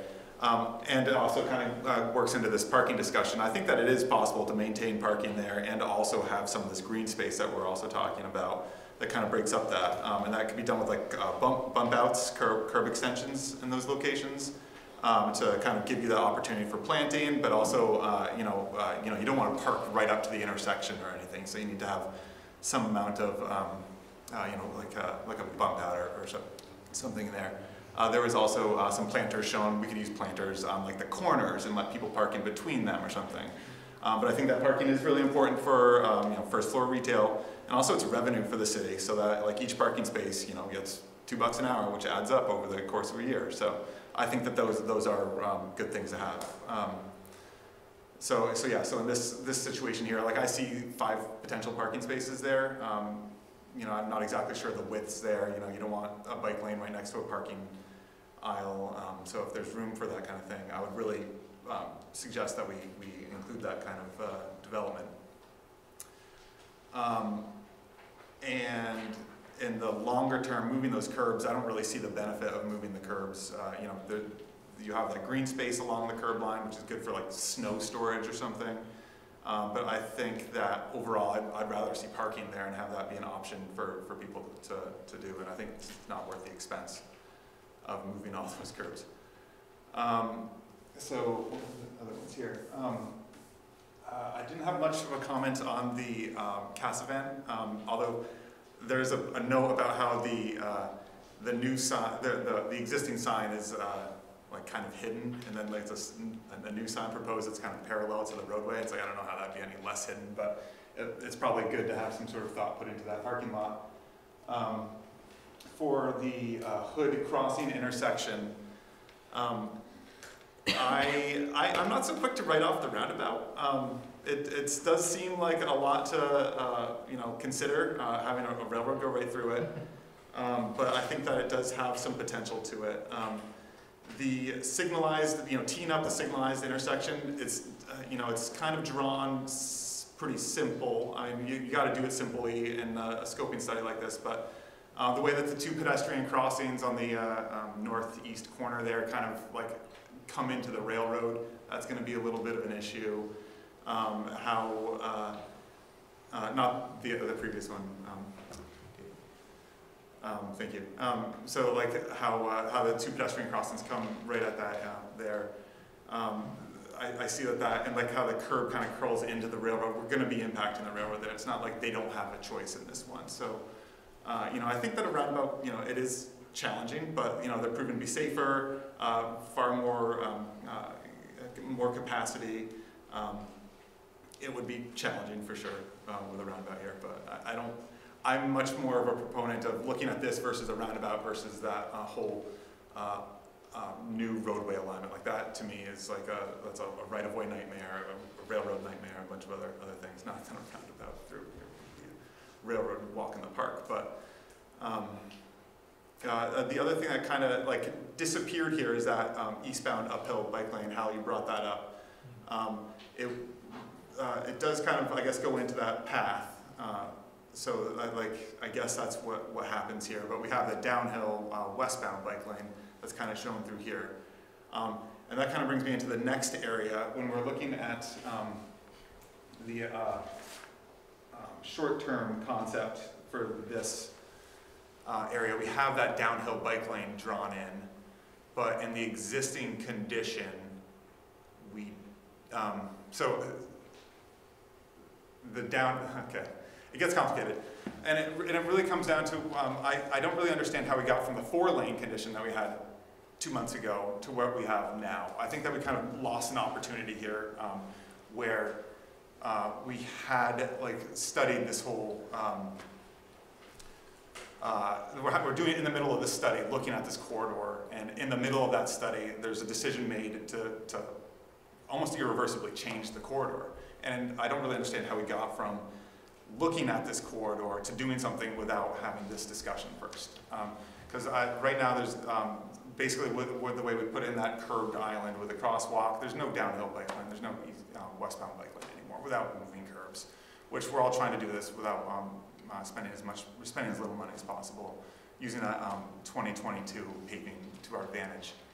Um, so I, you know, I'm a little disappointed that we're here where we are now. Um, uh, and I think that, you know, this no road diet, no curb relocation, it was a really um, good alternative, but it's kind of lost a lot of that appeal with, um, with how it kind of got developed in the interim.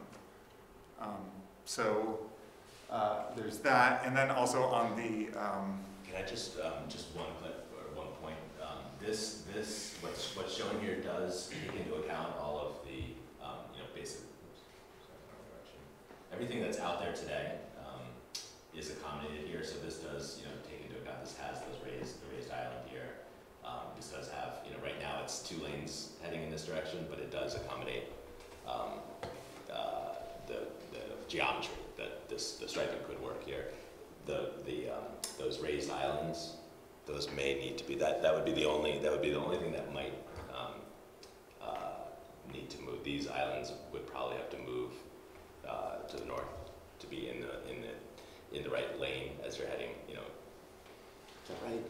I'm just trying to think. No, no, no, I guess those would not have to move, right, because we have two lanes. No, I'm sorry, so this is, this is, this is the second eastbound lane in the center right here today. yeah, you drop that eastbound lane right there. All right. So this might be a good opportunity to actually, John, if you want to talk about the recent changes that were made. Sure. So we, um, we met with the developer, uh, it was probably May of last year when they came in with two sixty-eight East Allen. Um, and, you know, one of the, the big concerns as, as this, as this project was sort of in design phase was, you know, the pedestrian safety aspect of sort of going first, being one of the first big buildings on the East Allen corridor with the, the high-speed traffic that's, that's currently going through there. Um, You know, we, we reviewed some preliminary, uh, plans for, for potentially changing these lanes permanent, but we, um, you know, we, we were cautious with it. We didn't want to move ahead without kind of seeing what that looked like, um, without, you know, going through well, for them, they ended up taking out a lane for construction activities, which was sort of a good pilot to see what this kind of lane configuration would look like uh, before ultimately we, we would approve anything. Because we had concerns about what traffic queuing would do with reducing a lane, um, you know, what kind of, what that crossing would look like for pedestrians. Um, and concurrently, we were going through the scoping study, so we wanted to kind of get some data from that before we actually made a decision. So, you know, with, with VHB's work, we were able to confirm, you know, okay, modeling wise, uh, sort of one lane in each direction was adequate for the traffic volume capacity. So that gave us sort of level of comfort for um, reducing to one lane. But ultimately, it, it came down to how do we provide some pedestrian safety um, in, in the short term. And you know, developer came back to us a year later after that sort of construction phase work was done, and, and we monitored it throughout that period to see what traffic flows did. We worked with public safety to kind of get their input. Um, we also put it in front of, we put this plan in front of the advisory committee um, to kind of get some feedback from VTrans. Um, you know, there was discussion on where the crosswalk was located and potentially moving that. Um, there was even some discussion about going further um, and and doing the necking it down to two lanes with the two center turn lanes. Um, we didn't want to go that aggressive uh, for this round, but we did want to provide some pedestrian safety given we're adding residents on the south side and you know there's a new development on the north side of East Allen. So you know what's what's something we can do quickly to, to slow traffic and, and help those crossings. And you know luckily we worked with a you know a developer that was willing to kind of basically build that out, and, and they were the ones that fronted the money to, um, to build out this infrastructure to provide sort of pedestrian safety there. So that's kind of where we were coming from. You know, we didn't want to miss the opportunity where a developer was willing to do this work, provide some pedestrian safety, um, and, you know, and it's, it's not a cost to the city. And we were able to pull out some elements from the scoping study to, to kind of do that. Um, and I will say there, you know, a lot of this was, when we were looking at this, we also had a pedestrian fatality further up the corridor, which, you know, we looked at and how can we, how can we improve the safety for pedestrians? Um, that's, that's ultimately what it came down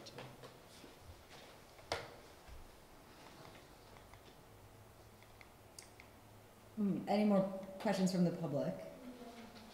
So, where, when was it decided that there were gonna be parking spaces in front of the new, the Casavant Overlook building? Is that what the name of it is?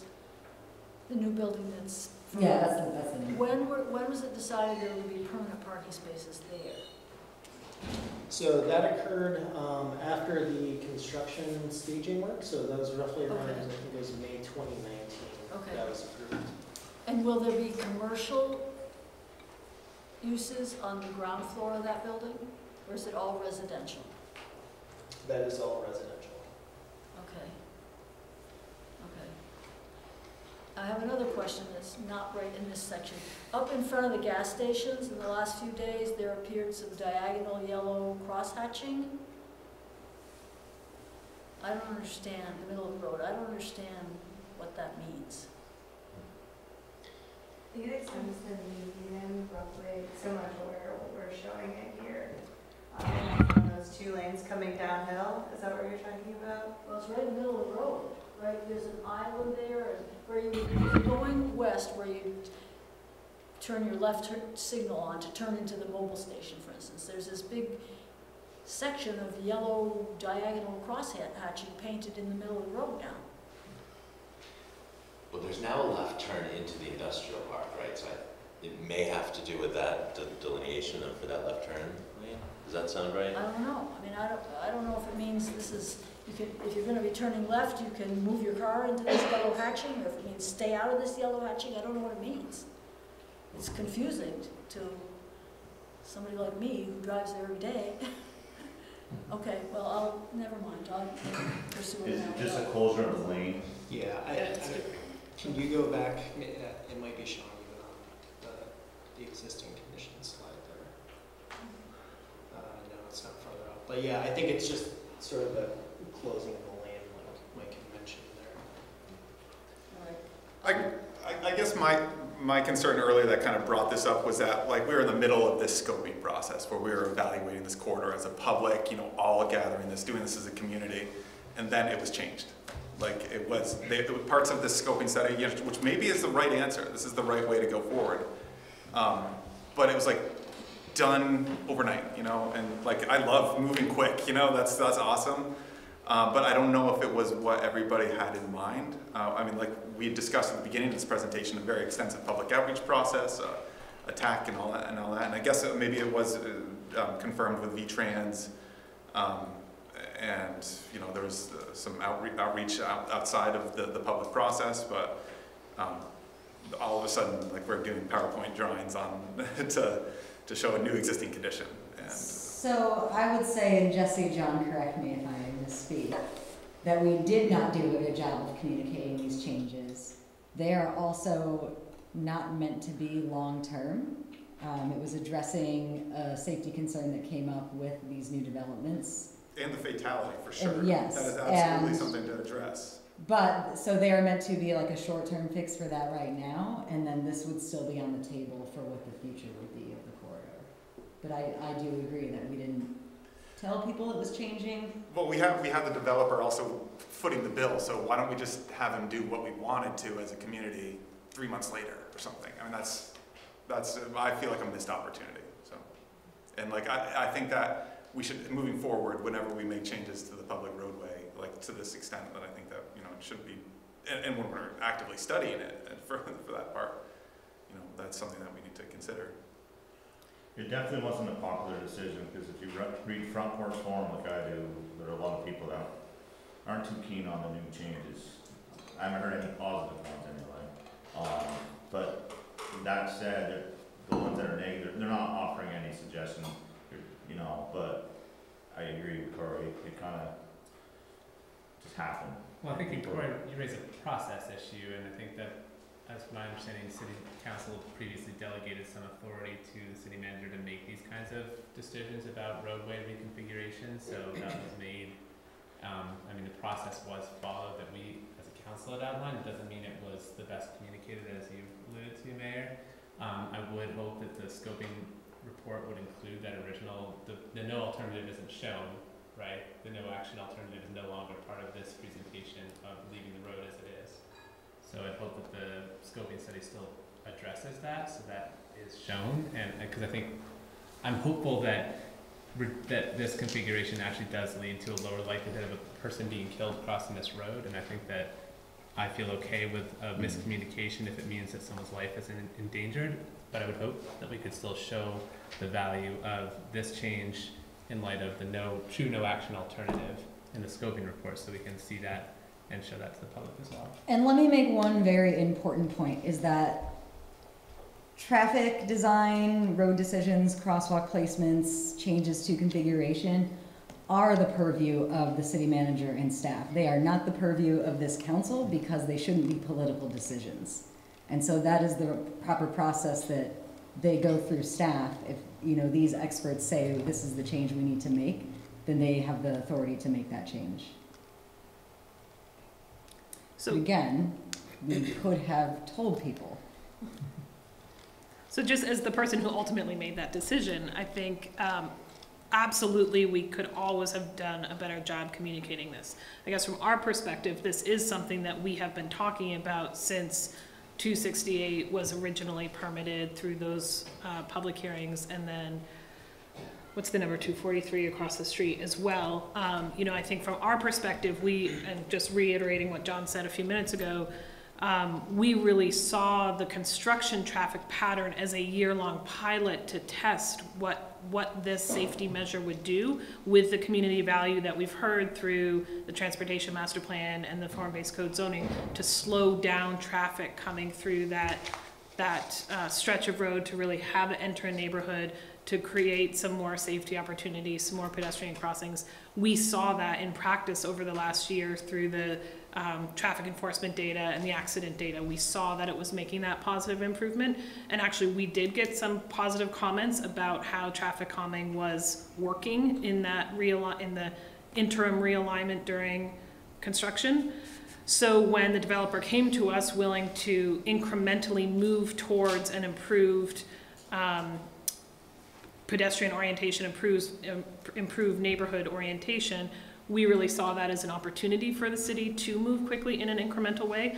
Personally, I don't think that decision of mine limited or closed off any future decisions we may make as a community about what goes into to that area, but as we've talked about all night, this is scoping that's gonna take several years to re-implement. And while we had a solution that was working on this, on the street with people used to a traffic realignment, we took the opportunity at no cost to the city to make that change permanent until there was another change the community decided on. So that's why I made my decision. Absolutely, we could have done a better job communicating it. Always lessons learned, but just, that's how I made that decision. And uh, Councilor Duncan is right. This is a process question for the council, whether you want to reopen that ordinance and reallocate that authority. Yeah, Did I, just- s- sorry. No, I just saw a hand. Um, just for someone who rides in the fire trucks going through that intersection, um, I can tell you you're on the right path to, um, change that intersection. Um, conversations in the fire trucks just the other morning when we went through there was, wow, what's changed? Um, you know, traffic actually yielded for us as we came off East Spring. And we often use that to get to the interstate in early morning calls. Um, so, um, that hasn't been the experience for many, many years. It's, uh, you know, you get in the two lanes going up the hill and it's a racetrack. Um, You're calming it down, and again, traffic's yielded, um, so that's probably four or five times I've heard that conversation for those that drive emergency vehicles through that intersection. Yeah, and I'll just add to Jessie's point too. So this is kind of a unique situation. We don't usually have developers coming in and saying, we want to invest to, to do some work in the right way. So as you've probably seen, our typical sort of, if, you know, where city is doing the work, there's a whole outreach piece that goes along with a city project. That's a little more difficult to do and it's really a developer-driven project. And um, I think, you know, some of that is, we don't always know the schedule because it, you know, depends on the contractor and weather. And, um, so I, you know, these kind of situations I think are gonna be kind of far and few between versus like our typical, you know, public works type projects. So just added a note there. So I think the only other issue raised that we haven't really given guidance on is the on-street parking. Yeah. Um, I liked the point about making sure that there's some language in there or some way to say that this can exist. Um, it did surprise me seeing these on-street parking being very important in our main street. Uh, you know, what came out of that study and then not seeing it here. I think the point about folks not viewing that corridor as a place in need of it makes sense.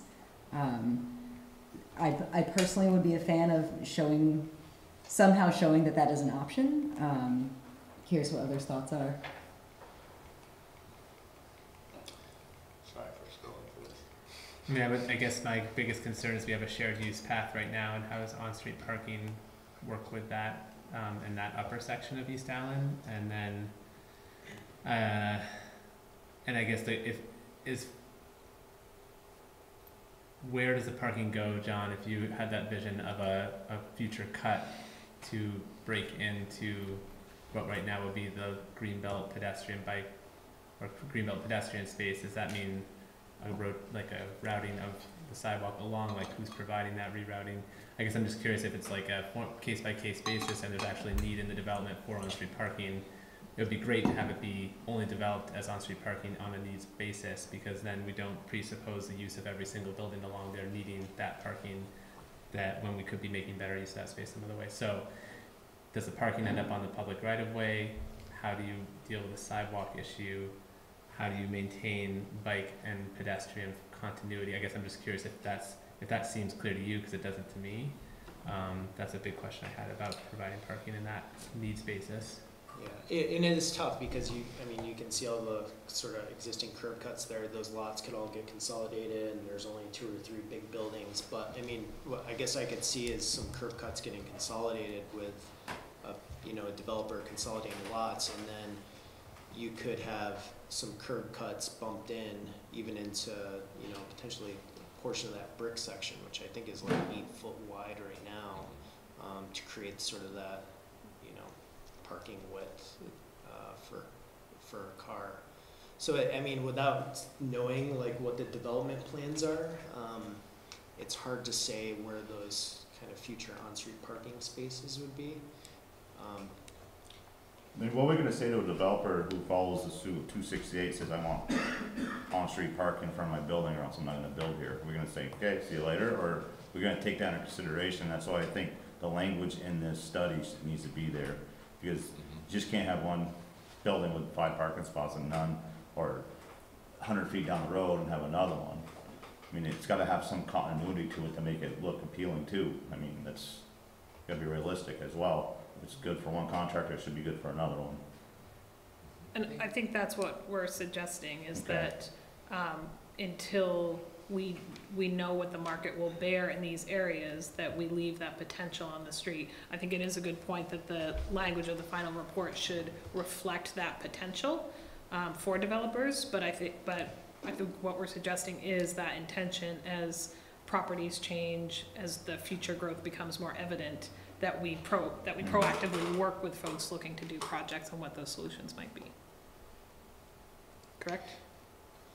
Yeah, and I mean, we can add callouts to the plan showing, you know, you know, potential on-street parking, just to make it clear that anyone's looking at sort of these basis and de- design scoping studies know that that's something that, you know, we have in the back of our minds that needs to be accommodated. And that's a thought. Yeah, yeah.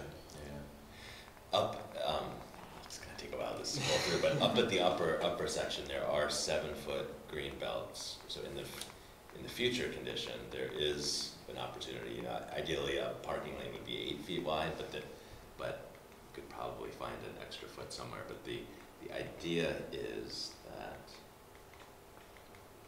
you could, um, you know, take a bank of these, uh, so this, where are we here? Um, and so, so this, this is, this is the two forty-eight main right here. Um, but if you needed this parking here, here, you know, any of these could, uh, this is a seven-foot landscape buffer, so you could, in theory, rather than put that in there at some future point, that could be the, the parking lane. Um, it could be all of those, it could be one block with the rest being bumped out and landscaped.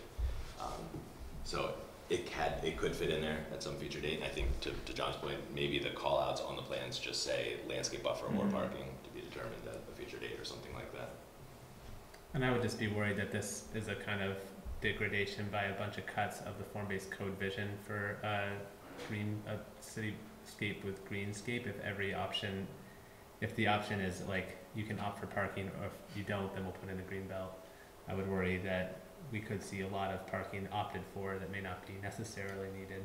But then the result is that we've done a lot of work for gateway zoning that doesn't result in the form that people were voting for or approving in form-based code. So that would be the one my one concern about making it a blanket, if you want it, you get it, otherwise it's landscaping, that we need to have some sort of, um, there has to be some achievement of the form-based code too.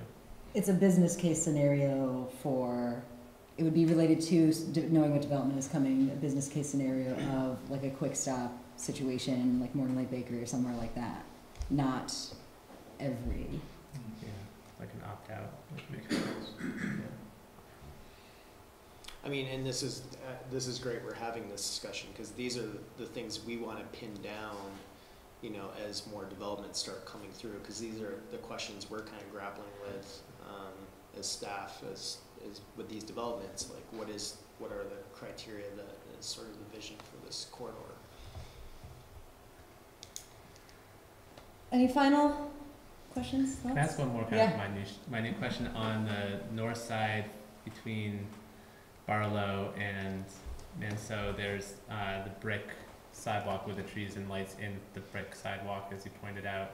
Um, which I don't think, if we think about accessibility, probably is not wheelchair compatible at this point, so if we don't extend the curb line, we have to choose between sidewalks and, or green space, or trees basically, trees and lights or sidewalk, because we can't, if we don't expand that north side down, and I think co- looking at the point that you were making, Corey, if we don't bump that curb down, we don't have space for both accessible sidewalk and, uh, light and, in- uh, basically infrastructure.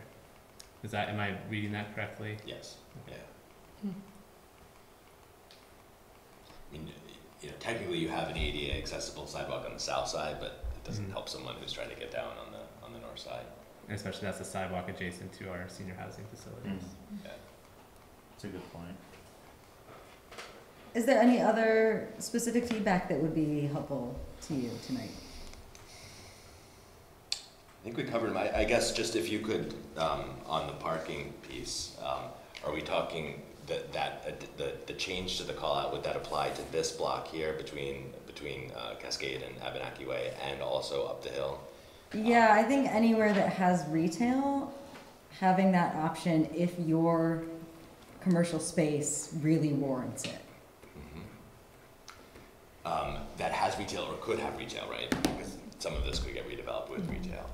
Yeah, okay. But I, I, I agree making that distinction about like every, you, you have to have a business case for why you need these spaces.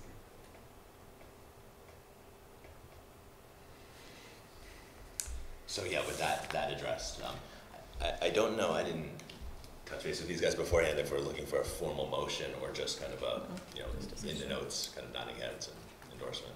Yep, just discussion. Yeah. Well, thank you for Yes. answering many, many questions tonight. Thank you, thank you. Thanks, Dave. Thank you, Erica, too, for all the work you did on this. Um, I am gonna call a two-minute recess and reconvene us at eight oh two. All right, I will, it is eight oh two, so I will reconvene a city council meeting. We will move to our next item on the regular agenda, F. This is discussion of our FY twenty-one budget goal setting session. Great, thank you. So, um, this is the first hard conversation of your FY twenty-one budget process. Um, Angela has put together this memo for you.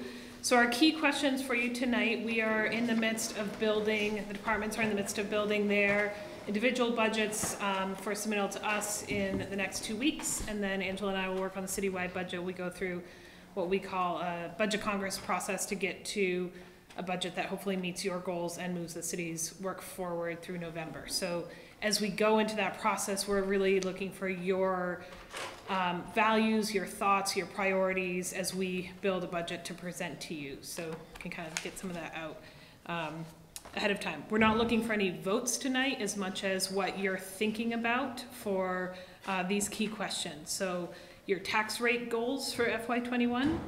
Uh, what are your priority areas to fund? Um, given that we may need to identify cuts, are there areas of that you would be willing to consider service reductions?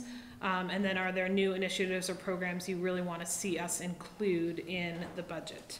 Uh, we've given you some history here of the tax rate history over the last couple of years, as well as the voter approval of the budget. Um, Angela's made a note that a 1% tax rate increase this year raises $57,000. Um, so on the next page, you see um, in our memo uh, some initial assumptions we're making about the budget, about the cost of living. Um, we're anticipating uh, what grand list growth might look like, how health insurance rate increases may impact our bottom line, um, and some other small changes. So the upshot of those bullets is that with just cost of living and healthcare changes, assuming a grand list growth that we had this year, which will raise an additional fifty-two, or uh, forty-two thousand dollars, we're looking at a, about a half a percent increase in our tax rate with nothing else changing. So no paving increase, no pavement increases, no electrical cost increases, no community liaisons, et cetera. That's just baseline to keep our doors open doing what we're currently doing. Um, then we've also started to bullet out for you some things we're thinking about, um, some things we've heard from you and heard from community conversations. So obviously, we intend to open this pool we've just built. Uh, so we're building out the operations cost for that. Uh, we are considering, um, because we don't have access to our JAG funding this year, our Department of Justice JAG funding, building that into our operations budget. Uh, we've heard you talk about the Affordable Housing Trust Fund and potentially interest in, in seed funding that. Um, we mentioned at the um, priority setting session in the spring the potential need for a new finance um, system given what the state decides on the tax department education grand list system, which that announcement should be coming out hopefully in the next month or so. Um, the chiefs and I are working on the Chittenden County Public Safety Regional Dispatch um, proposal. Um, we've talked about equity work and how we want to consider that moving forward. Um, and of course, later in your agenda is the scholarship policy and if we want to seed fund that. Uh, we've also heard from you a real emphasis for FY21 on improving some sidewalks through the capital plan. Um, and then just another item for consideration, although with no general fund impact, is the potential of Lot 7D being redeveloping and starting to fund that through the parking fund in FY21. Again, no tax rate impact for that. So those are our, our initial thoughts, uh, but really tonight we are here to hear what your priorities, your thoughts are, what you want us to be thinking about as we try and um, give you initially a budget that is more responsive to your values. So last year, we, and Hal, please help me out here, we, I think, kind of discussed a range of what we felt comfortable with, a top and a, and a low end of what a tax rate increase would be. Hmm. Um, a top, obviously being like, this is all we can stomach to pre- present to voters, and I think a bottom to recognize like this is not, we're not gonna do a half a percent, we're not in a position to do that. Um, a big part of the discussion last year was what do we have to increase to support Main Street and the pool? That, that is still a factor here. Um, and then to Jessie's point, new initiatives. I do want to call out though that in addition to funding constraints, we also just have capacity constraints for staff and for ourselves.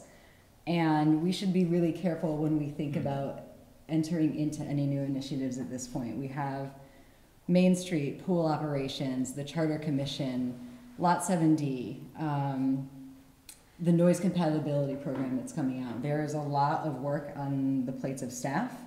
So, in addition to providing that guidance on like, here's what's priority for funding, here's what we can, you know, hold off on, I would think beyond funding too, to like, what can we actually ask staff to achieve in the next year?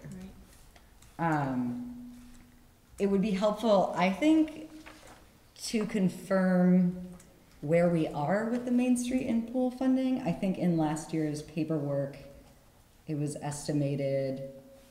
So I think we did like three point six for this mm-hmm. fiscal year, and it was estimated to be four, I think, is what we had planned, like in the modeling, the modeling that is not necessarily one hundred percent accurate. Um, but that last year we had estimated a four percent increase needed just for the pool and Main Street funding this year.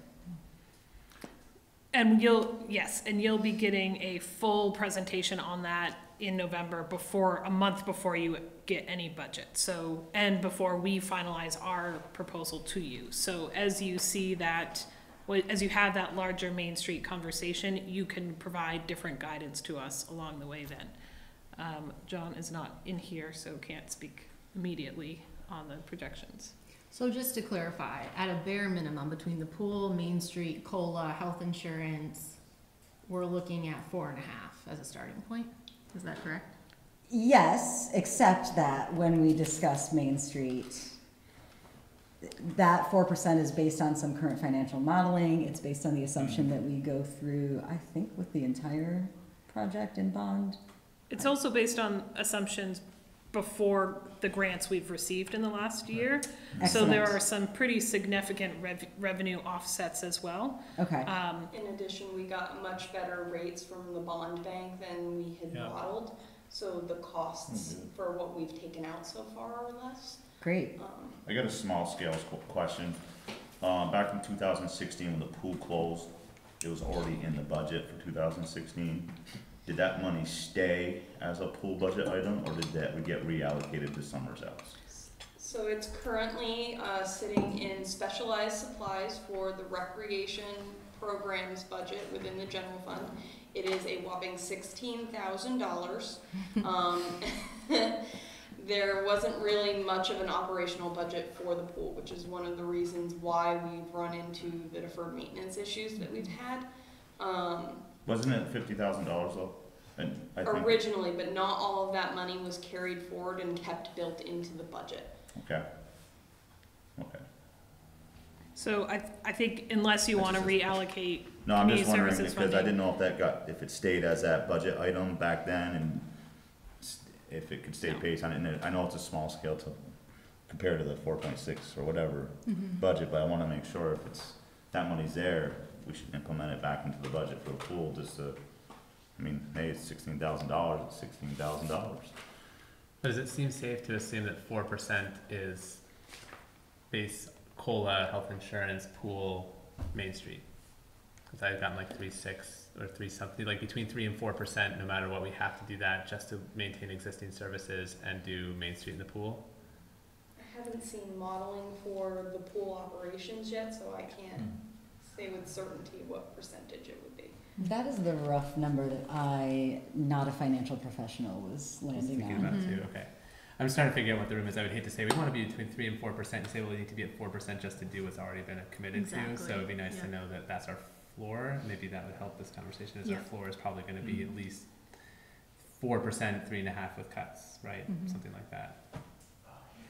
I, I mean, Yeah, I guess I would room for bounding encourage, I. I know I forced you into the tax rate conversation. I guess I would encourage you to think at a, at a, um, because I am not prepared right now to talk specifically about the Main Street and pool numbers. Um, we have not updated that modeling yet in advance of the November council meeting with the current revenue streams. So I guess I would encourage you to talk, to provide us any feedback you have on what are the value statements. I, what I think I'm hearing you say from a high level is You wanna move Main Street forward, but you don't know at what phasing yet. You wanna operate the pool. Um, you, I'm hearing you say you're not super interested in staff reduction or operational reductions. If you're, if you're talking about a half of a percent to maintain current staffing.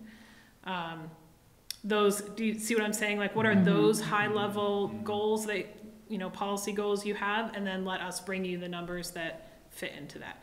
Certainly, I don't, I don't think we as a leadership team have any interest in, um, a, a unpassable budget increase. We would like to get a budget passed the first time. So then can we drop question one, what is the council's tax rate goal?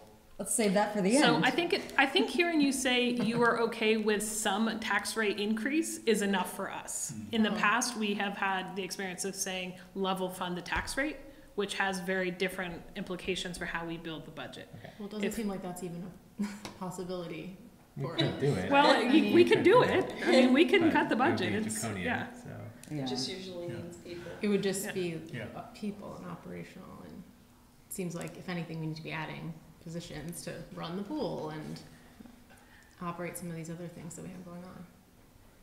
So I think from my perspective, hearing you say there is some commitment to a tax rate increase is enough for right, for the amount of information we're giving you right now. mhm. Okay. This is a very different conversation than we've had in past years. I think that we have, I mean, my personal feeling is we've made some commitments that we, Right, We have to see no, through. no one here's trying to back out of. right. I think along those lines, when I was looking through the list of ads that you had marked out, the JAG funding is one where also council has made a past commitment that has a direct departmental impact. And between that and the CCPSA, which council's also opted to move forward with in the past, it seems like we, I would like to see something dedicated to making those two hap, like, some combination of those happen. And maybe because we don't know the costs of CCPSA becoming a reality, what it means for reforming the police department space and the window and everything, um, I would love to see that there's some funding dedicated to making up the JAG funds or CCPSA or a bit of both. That's personal preference of mine. So I would say for some background, the messaging has been that when this authority is, actually goes into operation, that for the first year or two, municipalities would contribute exactly what they have in, in their current scenario. Um, and that if there was a potential need for additional funding, we could do a one-time fund balance. Because it would be one time, we wouldn't be in a position to say this is an operational ongoing need yet. Would you agree So- with that? So I think those sentences are all right, but for the um, administrative support that's going to stay locally. Um, So you're right, our contrib, in theory, right now, although this could change in the next few months, our contribution to dispatch as it stands up is what we have previously funded dispatch at, just moving to a nor- new organization with one-time capital expenses, which is what you're suggesting. What that doesn't keep into consideration, or take into consideration is with dispatch moving, there is going to remain with us some things that dispatchers currently do for us to administratively support the police department that we're going to have to find, to reallocate here amongst staff. So there may be that small administrative add. I- I think the timing here is important too. When does this change happen? If it is late in the year, I think we would still be in a position to do a fund balance and then consider the actual operations for the next fiscal year. So right now, what the CCPSA board is considering is an August one flip over next year. So it's early in the fiscal year. Yeah. But that is for, dis- that is in discussion. I hope to know more before I present a budget to you. I would take the housing trust fund out of this discussion as a concern. There is money there to get going with. Um, there's three hundred thousand dollars to start the fund with. There's not a need, I think, to worry about refilling that in the next fiscal year.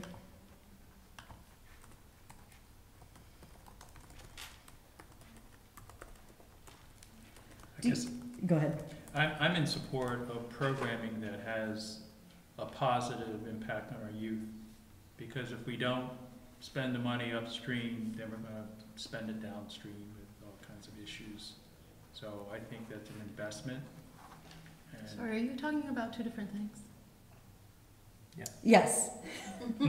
Yeah. Um, I, I Oh, okay. said remove housing trust fund from the Yeah. list, and then Hal is stating a new, uh, value. Okay, sorry, Hal. Mhm. So, invest in our youth.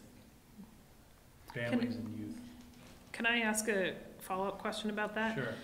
So one of the things, and Ray, feel free to jump in here, we've been talking a lot about is with the opening of the pool, orienting Mm. programming to the pool, to the new community room, to Landry during the summer months, Mhm. especially with Mhm. North End taking off at the OCC. Um, and really building off what we Mhm. learned this summer, um, in the need to better provide out-of-school time pro, like, um, structured programming for our young people. Is that, Yes. is that kind of aligned with what you're thinking, or are Mhm. you thinking something? No, that's- okay. just, just continued support of that. Okay. Yeah. I think I may have been one of the people that brought up the sidewalk improvements at the retreat that we had in the spring. And I think that that is important, but just given the scope of work that the staff have to take on with all the infrastructure projects, I would be happy to put that off for now as a priority. I don't know how others feel. I also wonder if some of that can be handled through existing projects and CIP work. That, that's one of the main concerns of residents when you talk to them on the street. Jim and I just heard it again today. Women's, the sidewalks, some of them are dangerous for older folks, not even older folks, anybody walking at night, it's dark early now. Um, walking your dog, people have rolled their ankles. There, the, some of the, some of the sidewalks, like on Roger Street, I don't know if that's been fixed yet. Um, John, I don't know if you hit that up there. Some people were reaching out saying that the sidewalks up there are pretty in rough shape. Um, I don't know if we take that out, cause we have to have something in there for all residents, not just for a select group. And the sidewalks are mainly for every resident. I value the concern. Mm-hmm. I would go back to the fact that we, my, on it, actually to get down to it, my personal value for the next fiscal year is that we continue with what we have committed ourselves to Mhm. and that we avoid adding new initiatives. Um, I, I do think that some of these sidewalks are gonna get addressed in existing work plans. But adding that as, you know, let's try to get a, let's try to address a majority of these issues in the next year, I don't think is feasible from a staffing level, frankly, when we have Main Street, Lot seven D, moves compatibility, like, that's a lot of the public works staff and zoning staff time.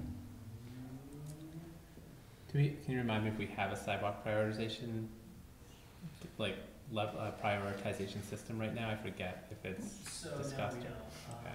What we have right now is we're updating sort of the, um, the current conditions for all the existing sidewalks. Uh-huh. Um, From that, we go out sort of a prioritization plan, go through the Public Works Commission. And that's not part of the anticipated work plan at this point?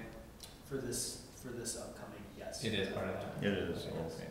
So maybe it's just about communicating that work plan to people so that, mm. you know, people know that it's going to happen at some point.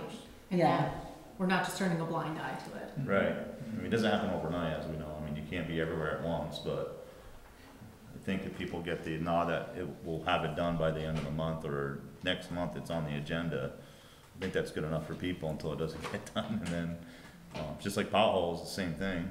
I mean, that should be almost city maintenance, it's, it's for safety of people walking, for pedestrians, and I don't see the taxes go up a whole lot because we need to replace sidewalks, but I think what we have currently, maybe they can get tweaked or adjusted if they're just out of line.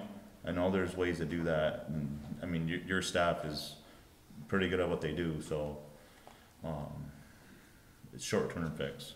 And so I guess I would just say that maybe if sidewalks are not something we're actually gonna fund the reconstruction of in the next year, but as lot seven D wraps up, as noise compatibility program wraps up, we don't start the year, the next cycle with, okay, what do we need to actually do for sidewalks? If there is some funds that need to be allocated for doing the prioritization work and having a roadmap, a plan for, that we can look at in FY twenty-two, I think it would be great to not start, to start there and not six months later. I don't know if that's the kind of middle ground like kind of in the weeds, but um, some sort of a, li- a little bit of resources towards scoping so that we are moving faster towards that um, and able to act more quickly when the time is right would be great. Um, and then, yeah, like you said, there's going to be times to address it anyways through other scopes.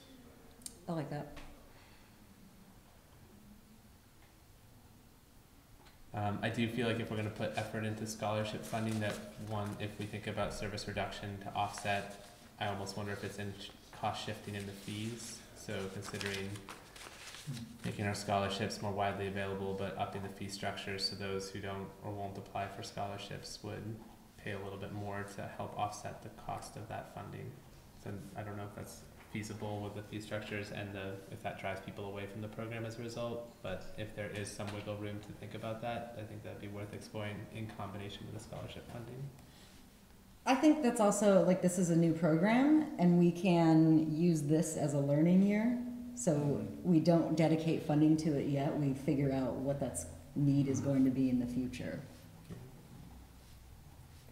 Um, I, I feel similarly for the equity work, like, we are in conversations about how this can play out, but we can use this as a learning year. You know, obviously, Jessie and Sean haven't even been able to meet yet. Meet tomorrow. um, use this as a learning year, do some of mm-hmm. these incremental steps, and then be prepared in the next year to talk about what is an actual financial mm-hmm. need to operate these changes. And we'll still roll over our incentive fund, fund. yeah. And that's not in, that's not in the level funded budget, right? Like if there was no increase, that would still be Yes, The fi- that's yeah. built into the budget at this point. for five, five grand a year or Yeah. five grand total? Five grand a year. Okay. Yep. So in theory, there could be ten grand next year to work with if we didn't do anything this year. Correct. Sorry, have we spent all of that? They would have to rededicate this Yeah, year's funding. yeah. We have not spent it this year. Do you have any broad idea of the cost to implement a new finance system? Um, yes, um, I mean, so I think a broad, um, I think there are a lot of moving pieces to this, and one of the things that I spent a lot of time at town fair talking with other people about was what, because so many communities use what we have now, NEMRC, that if the state doesn't go with, may go out of business.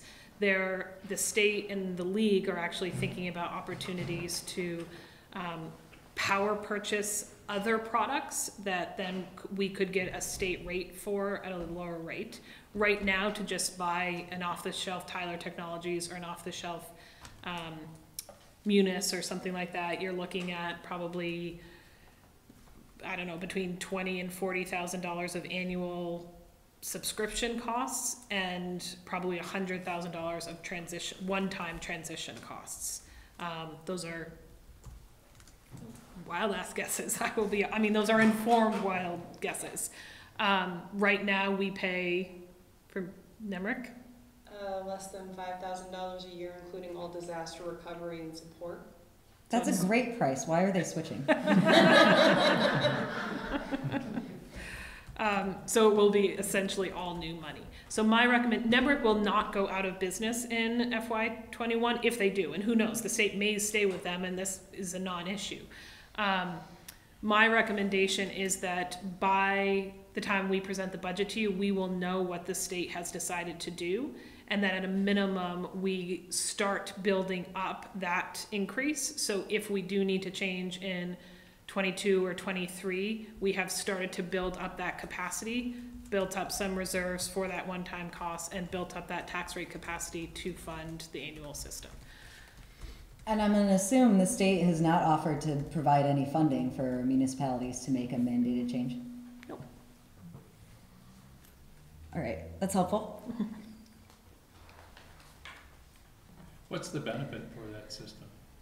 So there are enormous benefits to a mo- either a modernized NEMRC or a new system. Um, NEMRC is a homegrown, and Angela weigh in here, but as a basically a homegrown Vermont system, they do provide some services to a few other New England states. Um, it is very customized. Um, it is very hard to export the data to do any modeling with it.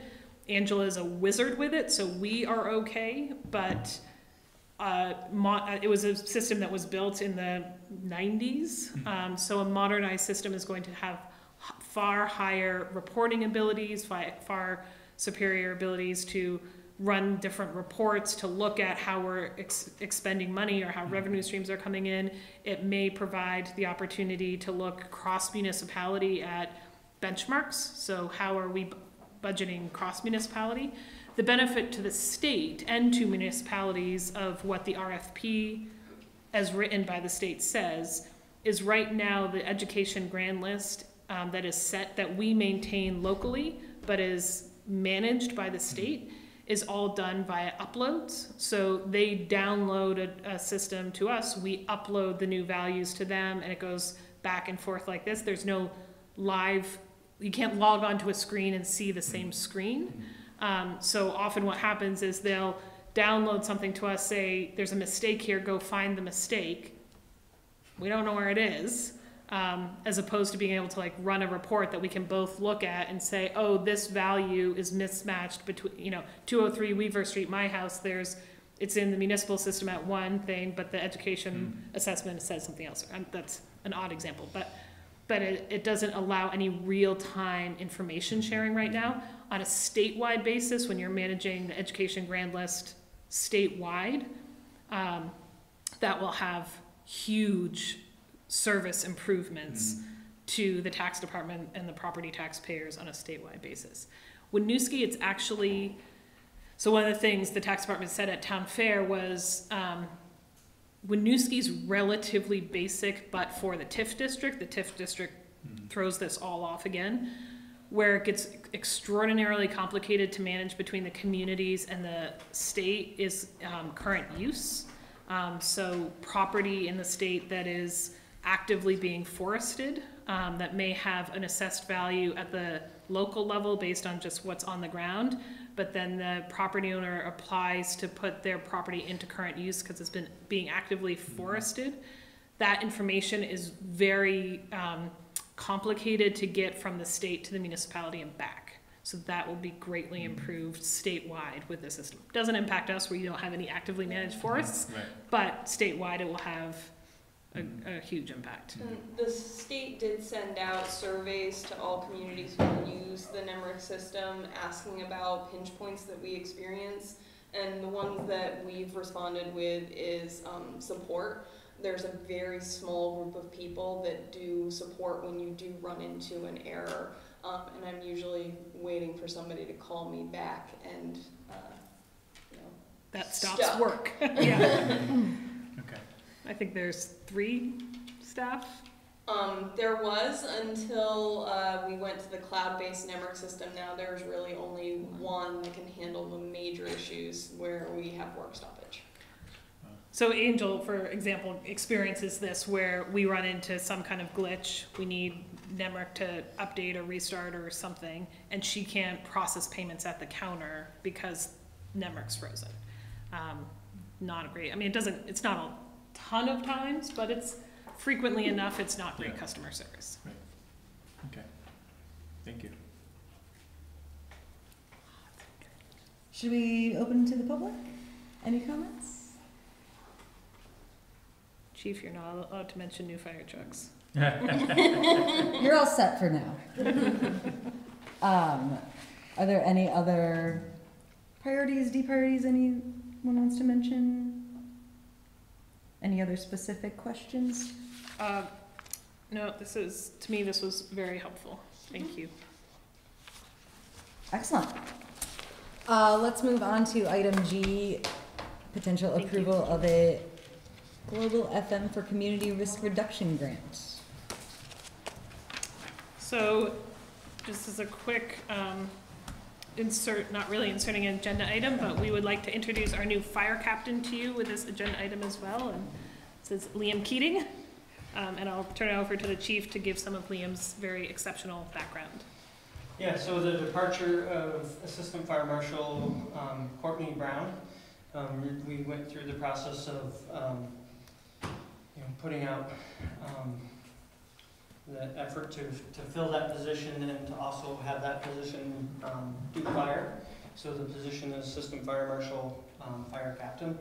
Um, It's a full-time position, um, really focused on the inspections and community risk reduction. Um, Very competitive. Um, We're fortunate to have some great candidates. Liam's from uh, Portland, Maine, has experience in emergency dispatching, um, inspections, firefighting, um, fire prevention, so um, we're extremely happy to uh, have him on board. He's in week four, so um, he's continued to come back. Very happy with that. And he's a great cook. He cooked us lunch on Friday, so things are looking pretty good. Welcome. Yes, thank you. I'm happy to be here. Like the chief said, um, I'm originally from New York, Long Island area. I moved up to Portland in 2015 to take a job full-time with Portland Regional Communication Center, dispatching full-time. Um, there, I was doing firefighting in New York. I started firefighting in uh, Maine. Well, took about three per diem jobs. I was doing that, fire prevention, in uh, the town that I was living in before I applied for this job. And I was fortunate enough to be um, considered and decided to accept. And so happens this is Vermont's Opportunity City, and this was the opportunity for, of a lifetime for me. So I'm happy to be here. That's excellent to hear. Thank Yes, you. Thank you. How are you finding Winooski so far? Uh, it's a it's a very um, it's a progressive city. It's growing, and it's a really neat place to be, and it's cool to be on the, the ground level of uh, so many changes. Awesome. Any questions for our new staff? Welcome. Welcome. Welcome aboard. Thank you. Thank you. And then we'll spin right into the grant. So while at, um, with Chief Spittle, um, at the New England, um, International Fire Chiefs Convention in Rhode Island, um, we were lucky enough to, uh, sit through their, um, educational seminars, and one of the presenters was FM Global.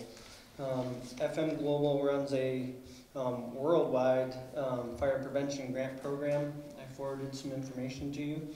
Um, and the theme of the day for them was um, about prevention, and um, the theme of the whole educational seminar was community risk reduction. So we felt pretty good to be there at the table and kind of um, be able to compare or uh, better understand what we're doing and, and just how much we're on the forefront of community risk reduction and, and the efforts that we do every day. And some of the other people are still just trying to figure out what what this is. Um, so I'm pretty happy to, you know, have the opportunity to, to lead that charge and um, to carry on your, your values and uh, turn that into community risk reduction.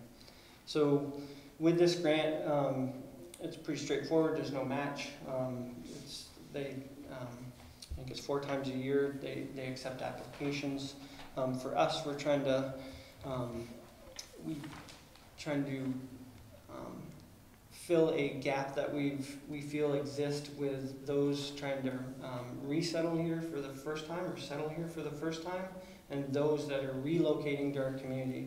And what I mean with that is um, a lot of people just don't understand the fundamentals of um, basic life safety, what a smoke detector is, um, cooking safety, fall prevention. Um, so the idea here is um, we had a very good experience with our recruitment video um, production, working with Channel 17 on a local, very local level, very um, grassroots effort, if you will, um, to really be able to, to carry our, your values for, for Winooski forward in that recruitment video. So the idea would be to do the same with this life safety, fire prevention video that we could then use our external partners to help us carry that message. So the idea would be it's in a couple languages, um, you know, and we can maybe have a couple videos depending on cost, um, one that we can use in some of our higher risk buildings, you know, the 83 Barlows, the, um, you know, just Car yard. yeah, you know, pieces, you know, um, some tools, and uh, so, you know, put it in perspective why uh, why a community risk reduction. Um, you know, right now we're at about 1,193 events for the fire department between emergency response and inspections. Um, you know, 900 of those, um, or 66% of that, is all inspection work. So uh, about 33% of that's emergency response. Um, so I'm just trying to really paint a picture of the workload that we're doing here and that we continue to, to be on that forefront of community risk reduction and the fire prevention pieces of, of what's happening here every day in Winooski. Um, very important stuff. You know, on the emergency response side, you know, to date, it's, so I'm talking January one to current. Again, it's about two hundred and ninety-three calls. Um, approximately forty percent of those responses were in multifamily dwellings. So the, the same dwellings that we're talking about, putting this video in, um, and really trying to, you know, educate people. Um, you know, seven of those properties, we responded more than three times. Um, in the top two of those seven, um, one property we responded so far fifteen times, and the other seven times. So again, you know, this data is really telling us where to, where to try to concentrate our efforts. Um, so, more to come on the data. Again, this goes back to Firehouse. You guys have heard me talk about that a lot, and you know, budgeting, um, where we're putting our resources, where you're trying to um, put future resources. Um, for me, is all going to be not all, but um, we now have some very good data. We're starting to see some good data um, to be able to help us make those decisions. So, this um, $6,500 grant is um, just a way for us to get further um, move our program forward. I think it's an exciting opportunity. Um, I was really excited to read about what your plan is for it and also to, s- you know, no match. Yeah. No, no strings attached. And to hear that it's going to be translated, the videos, I think that's really important. Mm-hmm. Yeah. I mean, we know it has to be right. I mean, it's, I mean that's that's the main. So you, this, they give this out four times a year? Yeah. So once you're awarded it, you you're done for three years. You're done for three years? Yep. Is there any opportunity to reach out to your partners that you wanna team up with? To maybe throw a couple bucks in to make that video service translated for everybody? Is that an opportunity that you see you could run and, Yes, I, I mean, that's a great, um, you know, suggestion. Um, we're just, we're trying to get the, the seed money to get this Yeah. type of program off the ground. And then we would, um, you know, as this developed further, um, we certainly would be sitting down with our partners. Um, there's certainly some interest, um, to work with us, we know that.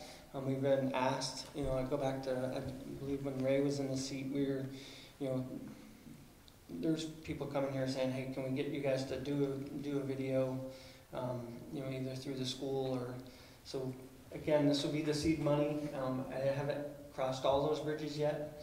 Um, you know, I think applying for this with the concept in mind, um, Mhm. the goal in mind, um, and then we'll, we'll work forward, and certainly if we can get some other folks to, to contribute and make a better product, that we can, you know, have reach more people, we're all on board with that, for sure.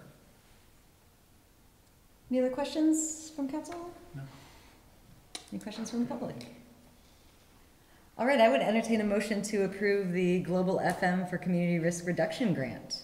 so I'll move? Second. Motion by Mike, second by Hal. All those in favor, please say aye. Aye. aye. Motion carries. Thank you. Thank you, have a good evening. Thank you. You too. It's nice Um, meeting you. Yes, thank you for coming Stay, in. stay safe. Apparently, we only hire redheaded fire. I was thinking about that. Well, no, it might be the guy hiring them. Yeah. Um, Ray will join us for item H, approval of Parks RFP contract.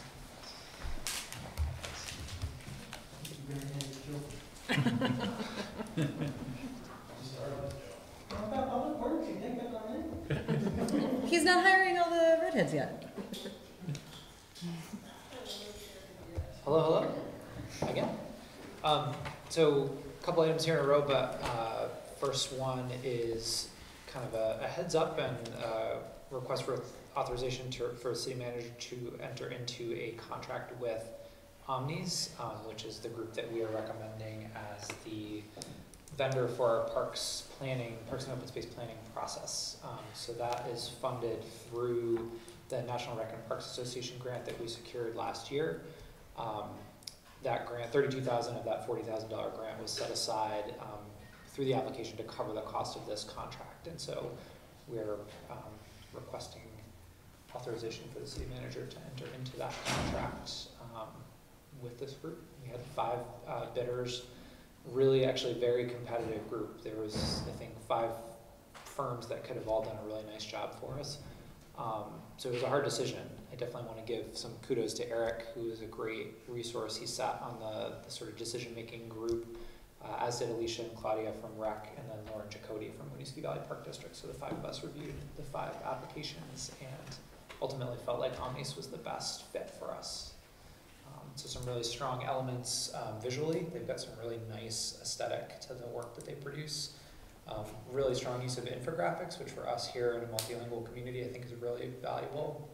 Um, and some really innovative and interesting um, outreach techniques too. Uh, some things that we weren't seeing in other groups. I sort of jokingly said at the end, we did two follow-up conversations with our two uh, top groups, and I was actually pleased neither of them in either conversation said the word charrette once, um, which I took to be a really good sign. I think we're trying to, to really take this down to a level where everybody can engage and be part of the process. So, so yeah, we are recommending them and hoping, hoping you will enjoy what we put in front of you here.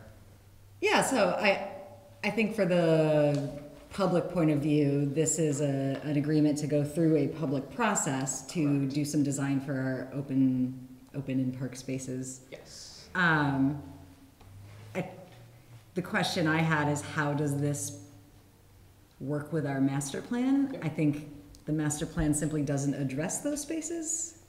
Yeah, and so within the master plan itself, there is a call for further development of parks and open space planning. So in the development of the master plan, and Eric, feel free to throw tomatoes or chime in if I'm way off, we didn't get into a lot of depth about land use as it relates to parks and open space. Um, I think there was a lot more look at um, the, the zoning code, the built environment, those sorts of things, and I think just for lack of bandwidth, frankly, we didn't get into a lot of depth around parks and open space planning. So this is an opportunity for us to do that and then layer that on top of the master plan that exists. Uh, so one thing actually both groups said, which was pretty cool, is that they had read through the master plan. Um, so I think there's a general awareness that this is not going to be a standalone item. This is going to be incorporated into a plan that exists. And I think both groups had some really positive um, things to say about the plan and what it says about the city. So that was encouraging as well.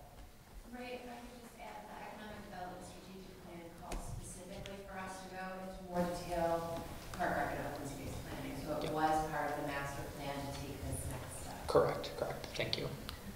And just like the, the master plan was designed to be kind of an umbrella document for all the other planning efforts that we had done, so that allows us to update those smaller planning documents while the master plan is in effect. This is basically doing that, but adding it in.